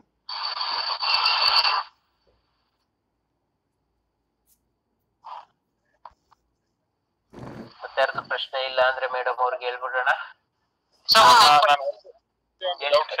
ಹೇಳಿ ಸರ್ ಈ ಮೂವತ್ತು ಹೇಳ್ತಾ ಇದ್ರಲ್ಲ ಐ ಟ್ರೈಡ್ ದಟ್ ಯೂಸ್ ಮಾಡಿದೆ. ಈಗ ಕೆಲವರು ಏನಂದ್ರೆ ಒಂದು ಹಿಂಡಿ ಹರಳಿಕಾಯಿ ಹಿಂಡಿನ ಅದನ್ನ ನೀರಿನಲ್ಲಿ ಬಿಟ್ಟು ಕೊಳಿಸ್ಬಿಟ್ಟು ಒಂದ್ ಸ್ವಲ್ಪ ಬುಡದಲ್ಲಿ ಇಟ್ರೆ same it will work like pheromone trap pheromone trap ತರ ಅಟ್ರಾಕ್ಟ್ ಆಗುತ್ತೆ. ಅದು ನಮ್ಮ ಗೊಬ್ಬರದ ಹುಳ ನಮ್ಮ ರೈನೋ ದುಂಬಿ ಏನಿದೆಯಲ್ಲ ಅದಕ್ಕೆ ಕೆಲಸ ಮಾಡುತ್ತೆ. ಹರಳನ್ನ ಜಜ್ಜಿ ಬಿಡಿ. ಒಂದು ಸಣ್ಣ ಕರಟ ನಮ್ಮ ಕರಟದಲ್ಲಿ ಇಟ್ಟುಬಿಟ್ಟು ಅದನ್ನ ಒಂದು ಮಡಕೆ ಅಥವಾ ಬಕೆಟ್ನಲ್ಲಿ ಮೇಲ್ಗಡೆ ಇಟ್ಬಿಟ್ಟು ಆ, ಇದನ್ನ ಡ್ರಮ್ ಅಥವಾ ಬಕೆಟ್ ಅದ್ರಲ್ಲಿ ನೀರ್ ತುಂಬಿಸ್ಬಿಟ್ಟು ಇಟ್ಬಿಡಿ. ಅದ್ರ ವಾಸನೆಗೆ ಅದು ಮೊಟ್ಟೆ ಇಡೋದಕ್ಕೆ ಅಂತ ಹೇಳಿ ಬರುತ್ತೆ ಅಲ್ಲಿ ಕೆಳಗಡೆ ತನ್ನ ನೀರ್ ಬಿದ್ದು ಆತ್ಮಹತ್ಯೆ ಮಾಡ್ಕೊಳ್ಳೋದು. ಅಥವಾ ಮಾಡ್ಬೋದು ಮಾಡ್ಬೋದು ದಯವಿಟ್ಟು ಮಾಡ್ಬೋದು. ಸರ್ ಹೇಳಿ ಸರ್ ಪ್ಲೀಸ್ ಅದೇ ನಮ್ಮ ಮಧ್ಯೆ ಇನ್ನೊಂದು ಕ್ವಶನ್ ದೇವರಾಜ್ ಅಂತ ಹೇಳ್ಬಿಟ್ಟು ನಾಗಮಂಗಲ ತಾಲೂಕಿಂದ ಸರ್ ಹೇಳಿ ಸರ್ ಈಗ ಮುಂಗಾರು ಆಗಮನ ಆಗೈತೆ ತಿಪ್ಪೆ ಗೊಬ್ಬರನ ಖರೀದಿ ಮಾಡಿದೀನಿ ನಾನು. ನೂರ ಐವತ್ತು ತೆಂಗಿನ ಸಸಿ ನೆಟ್ಟಿದೀವಿ ಆರು ವರ್ಷ ಅಲ್ಲೇ ಫಲ ಬಿಡ್ತಾ ಸ್ಟೋರಿ ಹೇಳಿದ್ನಲ್ಲ. ತಿಪ್ಪೆ ಗೊಬ್ಬರ ಖರೀದಿ ಮಾಡಿದೀನಿ ತಿಪ್ಪೆ ಗೊಬ್ಬರ ಹಾಕ್ಬೇಕಂದ್ರೆ ಭಯ ಆಗ್ತೈತೆ ನಂಗೆ. ಈಗ ಯಾಕೆಂದ್ರೆ ಈಗ ಇಲ್ಲ ಇಲ್ಲ ಇಲ್ಲ ಇಲ್ಲ ಏನಿದೆ ಅಂತಂದ್ರೆ ತಿಪ್ಪೆ ಗೊಬ್ಬರ ನೀವು ಹಾಕ್ಬೇಕಾದ್ರೆ ಒಂದು ತಂದಿದ್ದೀರಿ ರಾಶಿ ಮಾಡಿದಿರಿ ಹೌದು ಅದ್ರ ಸರ್. ಜೊತೆ ನಾನು ಹೇಳ್ದಂಗೆ ನಿಮ್ಮ ಮೆಟ್ರೈಸಿಯಂ ಅನ್ನ ಮಿಕ್ಸ್ ಮಾಡ್ತೀವಿ ಓಕೆ ಸರ್ ಮೆಟ್ರೈಸಿಯಂ ನೀವು ಆಲ್ರೆಡಿ ಇಲ್ಲಿ ಬಂದಿರೋದ್ರಿಂದ ಈವನ್ ನೀವು ಒಂದ್ ಟನ್ ಒಂದು ಕೆಜಿ ಎಲ್ಲ ಐದು ಕೆಜಿ ವರೆಗೆ ಬಳಸಿದ್ರು ತೊಂದ್ರೆ ಇಲ್ಲ. ಓಕೆ ಒಂದು ನೂರು ರೂಪಾಯಿಗೆಲ್ಲ ಸಿಗುತ್ತೆ. ನೀವು ಅಲ್ಲೇ ನಿಮ್ಮ ವಿ ಸಿ ಫಾರ್ಮ್ ಹೋದ್ರೆ ನಿಮಗೆ ಬೇಗ ಬಹಳ ಏರಿಳುವಾಗಿ ಸಿಗುತ್ತೆ. ಅಂತಿದ್ದಾರೆ ಮೈಕ್ರೋಬಯಾಲಜಿ ಡಿಪಾರ್ಟ್ಮೆಂಟ್ ಅಲ್ಲಿ ಅವ್ರ ಹತ್ರ ತಗೊಳ್ಳಿ. ಇಲ್ಲಾಂದ್ರೆ ನಮ್ಮ ತೋಟಗಾರಿಕಾ ಇಲಾಖೆನಲ್ಲಿ ಸಿಕ್ಕರೆ ಅವ್ರ ಹತ್ರನು ತಗೊಳ್ಳಿ. ಇಲ್ಲ ನೀವು ನಾಗಮಂಗ್ಲೂರ್ ಬೆಂಗಳೂರಿಗೆ ಬಹಳ ಅಡ್ಡಾಡ್ತೀರಿ ಅಂದ್ರೆ ಹೆಸರುಘಟ್ಟದಲ್ಲಿ ಅಥವಾ ನಮ್ಮ ಜಿ ಕೆ ವಿ ಕೆ ನಲ್ಲೂ ಕೂಡ ಸಿಗುತ್ತೆ. ನಾವಿಲ್ಲೇ ಮೈಸೂರಲ್ಲೇ ವಾಸ ಇರೋದು. ಸರಿ ಹಂಗಿತ್ತು ಅಂದ್ರೆ ನಮ್ಮ ಮೈಸೂರು ಆರ್ಟಿಕಲ್ಚರ್ ಕಾಲೇಜಲ್ಲೂ ಸಿಗುತ್ತೆ. ಆ, Horticulture. ನಾಗನಹಳ್ಳಿ ಫಾರ್ಮ್ ಅಲ್ಲೂ ಸಿಗುತ್ತೆ ಸುತ್ತೂರ್ ಕೆವಿಕೆನಲ್ಲೂ ಸಿಗುತ್ತೆ. ಇಲ್ಲಿ ಎಲ್ಲಿ ಎಲ್ಲಿ ನಿಮ್ಗೆ ಅನುಕೂಲ ಆಗುತ್ತೆ ಅಲ್ಲಿ ತಗೊಳ್ಳಿ. ಅದನ್ನ ಹಾಕಿ ಆ, ತುಂಬಾ ಆಳವಾಗಿ ಹಾಕ್ಬೇಕು. ಒಂದು ಹತ್ತು ಅಡಿ ಅಡಿ ಗುಂಡಿ ತೆಗಿರಿ ಮೂರಡಿ ಬಿಟ್ಟು ಹಾಕಿ. ಗಿಡದಿಂದ ಮೂರಡಿ ನಾಲ್ಕಡಿ ಬಿಟ್ಟು ಹಾಕಿ. ತುಂಬಾ ಆಳವಾಗಿ ಗುಂಡಿ ತೆಗಿಯೋಕೆ ಹೋಗ್ಬೇಡಿ. ಈ ತಿಪ್ಪೆ ಗೊಬ್ಬರನ ತಂಗಿ ಮರಕ್ಕೆ ಎಷ್ಟಡಿ ಅಂತರದಲ್ಲಿ ಹಾಕೋದು ಉತ್ತಮ ಸರ್? ನಾಲ್ಕಡಿ ಅಂತ ಹೇಳಿದ್ನಲ್ಲ ಮೂರರಿಂದ ನಾಲ್ಕಡಿ ದೂರದಲ್ಲಿ ಹಾಕಿ. ಮೂರಿಂದ ನಾಲ್ಕು ಗಂಟೆಲಿ ಮಂಕರಗುಡ್ಡೆ ಹಾಕ್ಸ್ತೀವಿ ಮತ್ತೆ ಮೆಟ್ರಿಷಿಯಂ ಪುಡಿನ ತಿಪ್ಪೆಲಿ ಮಿಕ್ಸ್ ಮಾಡಕ್ ಹಾಕಿಲ್ಲ ಅಂದ್ರೂ ಕೂಡ ಈ ಮಂಕರಗುಡ್ಡೆ ಆಗಿರ್ತೀವಲ್ಲ ಮತ್ತೆ ಅದ್ರ ಜೊತೆ- ಮಿಕ್ಸ್ ಮಾಡಿ ಮಿಕ್ಸ್ ಮಾಡಿ. ಅದು- ಅದ್ರ ಸಿಂಪಡಣೆ ಮಾಡ್ಬೋದು. ಮತ್ತೆ ಇದು ಮಾಡ್ಬೇಕಾದ್ರೆ ನೀವು ಎತ್ಕೋಬೇಕಾದ್ರೆ ಅದು ಹುಳಗಳ ಕೈಗೆ ಸಿಗ್ತವೆ. ಓಕೆ ಸರ್ ಓಕೆ ಅದನ್ನ ಇದ್ ಮಾಡಿ ದೊಡ್ಡ ತೋಟ ಒಂದೇ ತೋಟ ಅಂತೀರಿ ಅವಕಾಶ ಇದ್ರೆ ಒಂದಷ್ಟು ನಿಮ್ಮ ಕೋಳಿಗಳು ನಾಟಿ ಕೋಳಿ ಇರ್ಬೋದು ಗಿರಿರಾಜ ಇರ್ಬೋದು ಟರ್ಕಿ ಕೋಳಿಗಳು ಇವುಗಳನ್ನ ಸಾಕೋದಕ್ಕೆ ಅವಕಾಶ ಇದ್ರೆ ಮಾಡಿ. ಮನೆ ಸಾಕಣೆ ಮಾಡಿದ್ವಿ ಸರ್ ಮನೆ ಸಾಕಣೆ ಮಾಡಿದ್ವಿ. ಮನೇಲಿ ಮಾಡಿದ್ರೆ ಆಗುದಿಲ್ಲ ತೋಟದಲ್ಲಿ ಮಾಡಿ. ಅಲ್ಲಿ ಫಾರೆಸ್ಟ್ ಪಕ್ಕ ಜಮೀನು ಅಲ್ಲಿ ಕಿರ್ಬಾ ಅದು ಇದು ಅಂತ ಕಾಟ ಎಲೆಕ್ಟ್ರಿಕ್ ಫೆನ್ಸಿಂಗ್ ಮಾಡಿಸಿ ಸರ್ ಪಕ್ಕದಲ್ಲಿ ಒಳಗೆ ಬರುದಿಲ್ಲ ಅವು ಸ್ವಲ್ಪ ದೊಡ್ಡ ತೋಟ. ನಿಮ್ ಕಾಲ್ ಪಕ್ಕಕ್ ಮಾಡಿಸ್ಕೊಳ್ಳಿ ಈ ಕಡೆಯಿಂದ ಬೇಕಾದ್ರೆ ಬೇಡ ಆ ಕಡೆಯಿಂದ ಮಾಡಿಸ್ಕೊಳ್ಳಿ. ಆ ಕಡೆಯಿಂದ ಬರ್ದಂಗೆ ಹೌದು ಸರ್ ಓಕೆ ಅಷ್ಟು ದೊಡ್ಡ ತೋಟ ಇಟ್ಟಿದ್ದೀರಿ ಎಲೆಕ್ಟ್ರಿಕ್ ಫೆನ್ಸಿಂಗ್ ಸರ್ ಬಹಳ ಸಬ್ಸಿಡಿ ಕೊಡ್ತಾ ಇದ್ದಾರೆ ಡಿಪಾರ್ಟ್ಮೆಂಟ್ ಅವರು. ಖಂಡಿತ ಮಾಡಿಸ್ತಾರೆ ಅದೊಂದು ಮಾಡ್ತೀನಿ ಸರ್ ಮಾಡಿ ಸರ್ ಪ್ಲೀಸ್ ಮಾಡಿ. ಯಾಕೆಂದ್ರೆ ಇದು ಬಹಳ ಲಾಭ ಇದೆ. ಬೆಂಗಳೂರಿನಿಂದ ಬಂದು ಒಂದೇ ಕೋಳಿ ತಗೊಂಡು ಹೋಗ್ತಾರೆ ಯಾಕಂದ್ರೆ ಹೌದೌದು. ಒಂದ್ ಸಾವಿರ ರೂಪಾಯಿ ಖರ್ಚು ಮಾಡಿ ಐನೂರು ರೂಪಾಯಿ ಕೊಟ್ಟು ಒಂದ್ ಕೋಳಿ ತಗೊಂಡು ಹೋಗ್ತಾರೆ. ತಂದೆಯವರು ಕೋಳಿ ಸಾಕಣೆ ಮಾಡಿ ತಿಪ್ಪೆ ಸುತ್ತ ಮಿಸ್ ಹಾಕಿ ಕೊಡಾಕ್ ಬಿಟ್ಟಿದೀವಿ ತಿಪ್ಪೆ ಕೆರ್ಕೊಂಡಿದ್ದೆ ಅಂತ ನೀವು ಹೇಳ್ದಂಗೆ. ತಿಪ್ಪೆ ಅದು ಒಳ್ಳೇದು. ಅದೇ ರೀತಿ ನೀವು ಬೇಕು ಅಂದ್ರೆ ನಿಮ್ ತೋಟದಲ್ಲೂ ಕೂಡ ಮೆಶ್ ಹಾಕೊಂಡು ದಿನಕ್ಕೆ ಒಂದೊಂದು ಗುಂಟೆ ಅಥವಾ ಐದೈದು ಗುಂಟೆ ಮಾಡ್ಕೋಬಹುದು ಒಂದು ಇದ್ರ ಮೆಶ್ಗಳು ಬರ್ತವೆ. ಪ್ಲಾಸ್ಟಿಕ್ ಮೆಶ್ಗಳು ಅಥವಾ ನೈಲಾನ್ ಮೆಶ್ಗಳು ನಿಮ್ಗೆ ಯಾವ್ದು ನೈಲಾನ್ ಆದ್ರೆ ಸ್ವಲ್ಪ ನಿಮಗ್ ಬಾಳಿಕೆ ಚೆನ್ನಾಗಿ ಬರುತ್ತೆ.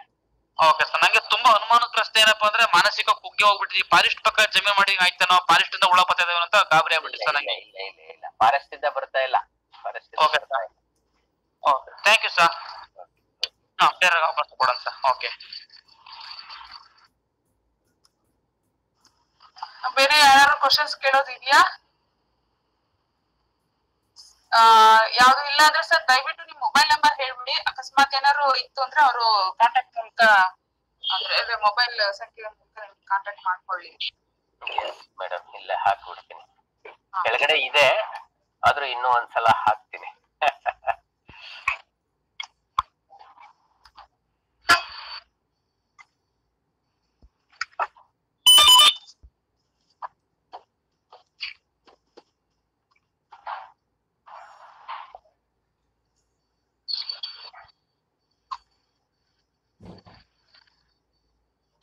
ನನ್ನ mobile number nine four eight three five three two seven three zero ಒಂಬತ್ತು ನಾಲ್ಕು, ಎಂಟು ಮೂರು, ಐದು ಮೂರು, ಎರಡು ಏಳು, ಮೂರು ಸೊನ್ನೆ. ರಾಮೇಗೌಡ ಅಂತೇಳಿ, ಏನಾದ್ರೂ ಇದ್ರೆ ಪ್ರಶ್ನೆ ಮಾಡಿ, ಪ್ರಶ್ನೆ ಕಳಿಸಿ ವಾಟ್ಸಪ್ ಅಲ್ಲಿ ಮೆಸೇಜ್ ಹಾಕ್ಬಿಟ್ರೆ ಯಾವಾಗ ಬೇಕಾದ್ರೂ ನಿಮಗೆ ಸಿಗ್ಬೋದು. ಕೆಲವು ಸಲ ನಾನು ಕನೆಕ್ಟ್ ಆಗದೆ ಇರ್ಬೋದು ಅಥವಾ ಕಾಲ್ ತೆಗಿದೇ ಇರ್ಬೋದು. ವಾಟ್ಸಪ್ ಅಲ್ಲಿ ಇದ್ರೆ ಬಹಳ ಯಾವಾಗ ಬೇಕಾದ್ರೂ ನಾನ್ ನಿಮ್ಗೆ ಕಾಂಟ್ಯಾಕ್ಟ್ ಮಾಡ್ತೀನಿ ಯಾಕೆ ಮಾಡಿದ್ರಿ ನೀವು ಅಂತೇಳಿ ಎಸ್ ಸರ್ Yes.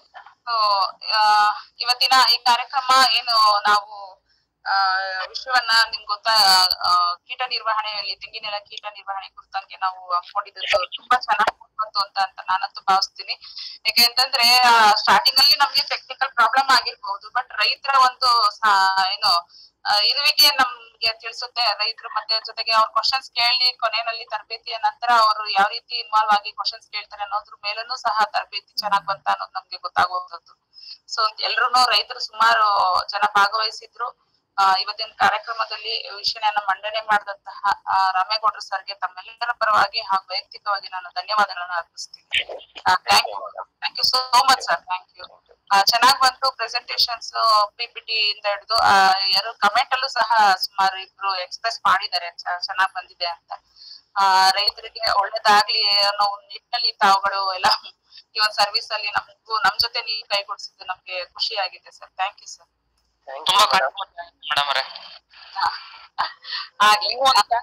ದಯವಿಟ್ಟು ನಿಮ್ಗೂ ಒಂದು ಥ್ಯಾಂಕ್ಸ್ ಇದೆ ನಾನು ಫಸ್ಟ್ ಟೈಮ್ ಆನ್ಲೈನ್ ಕ್ಲಾಸ್ ಕೇಳ್ತಾ ಇರೋದು. ನೀವು. ಆಡ್ ಗ್ರೂಪ್ ಆಡ್ ಮಾಡಿದಿರಿ ಮತ್ತೆ ಲಿಂಕ್ ಕಳ್ಸಿಕೊಟ್ಟಿದ್ದೀರಿ. ಕಾರ್ಯಕ್ರಮ ತುಂಬಾ ಸರಳವಾಗಿ ಅರ್ಥಗರ್ಭಿತವಾಗಿತ್ತು ರೈತರ ಪರವಾಗಿ ಎಲ್ಲಾ ರೈತರ ಪರವಾಗಿ ನಿಮ್ಗೂ ಕೂಡ ರಾಮೇಗೌಡ ಸರ್ ಕೂಡ ತುಂಬ ಧನ್ಯವಾದಗಳು madam thank you thank you thank you thank you so ಹಾಗೆ ಭಾಗವಹಿಸಿದಂತ ಎಲ್ಲಾ ರೈತರಿಗೂ ನಾವು ಧನ್ಯವಾದಗಳನ್ನ ತಲುಪಿಸ್ತಾ ಮುಂದಿನ ದಿನಗಳಲ್ಲಿ ಇದೇ ತರ ಸಹಕಾರವನ್ನ ಕೊಡಿ ಅಂತ ಕೇಳ್ಕೊಂತ ಮುಂದಿನ ವಾರದಲ್ಲಿ ಎರಡು ತರಬೇತಿ ಮಂಗಳವಾರ ಶುಕ್ರವಾರ ಎಲ್ರು ಭಾಗವಹಿಸಿ ಮಾಹಿತಿನ ಪಡ್ಕೊಳ್ಳಿ ಅಂತ ಮತ್ತೊಮ್ಮೆ ಕೇಳ್ಕೊಂತ ಮುಗಿಸ್ತಾ ಇದೀವಿ thank you thank you so much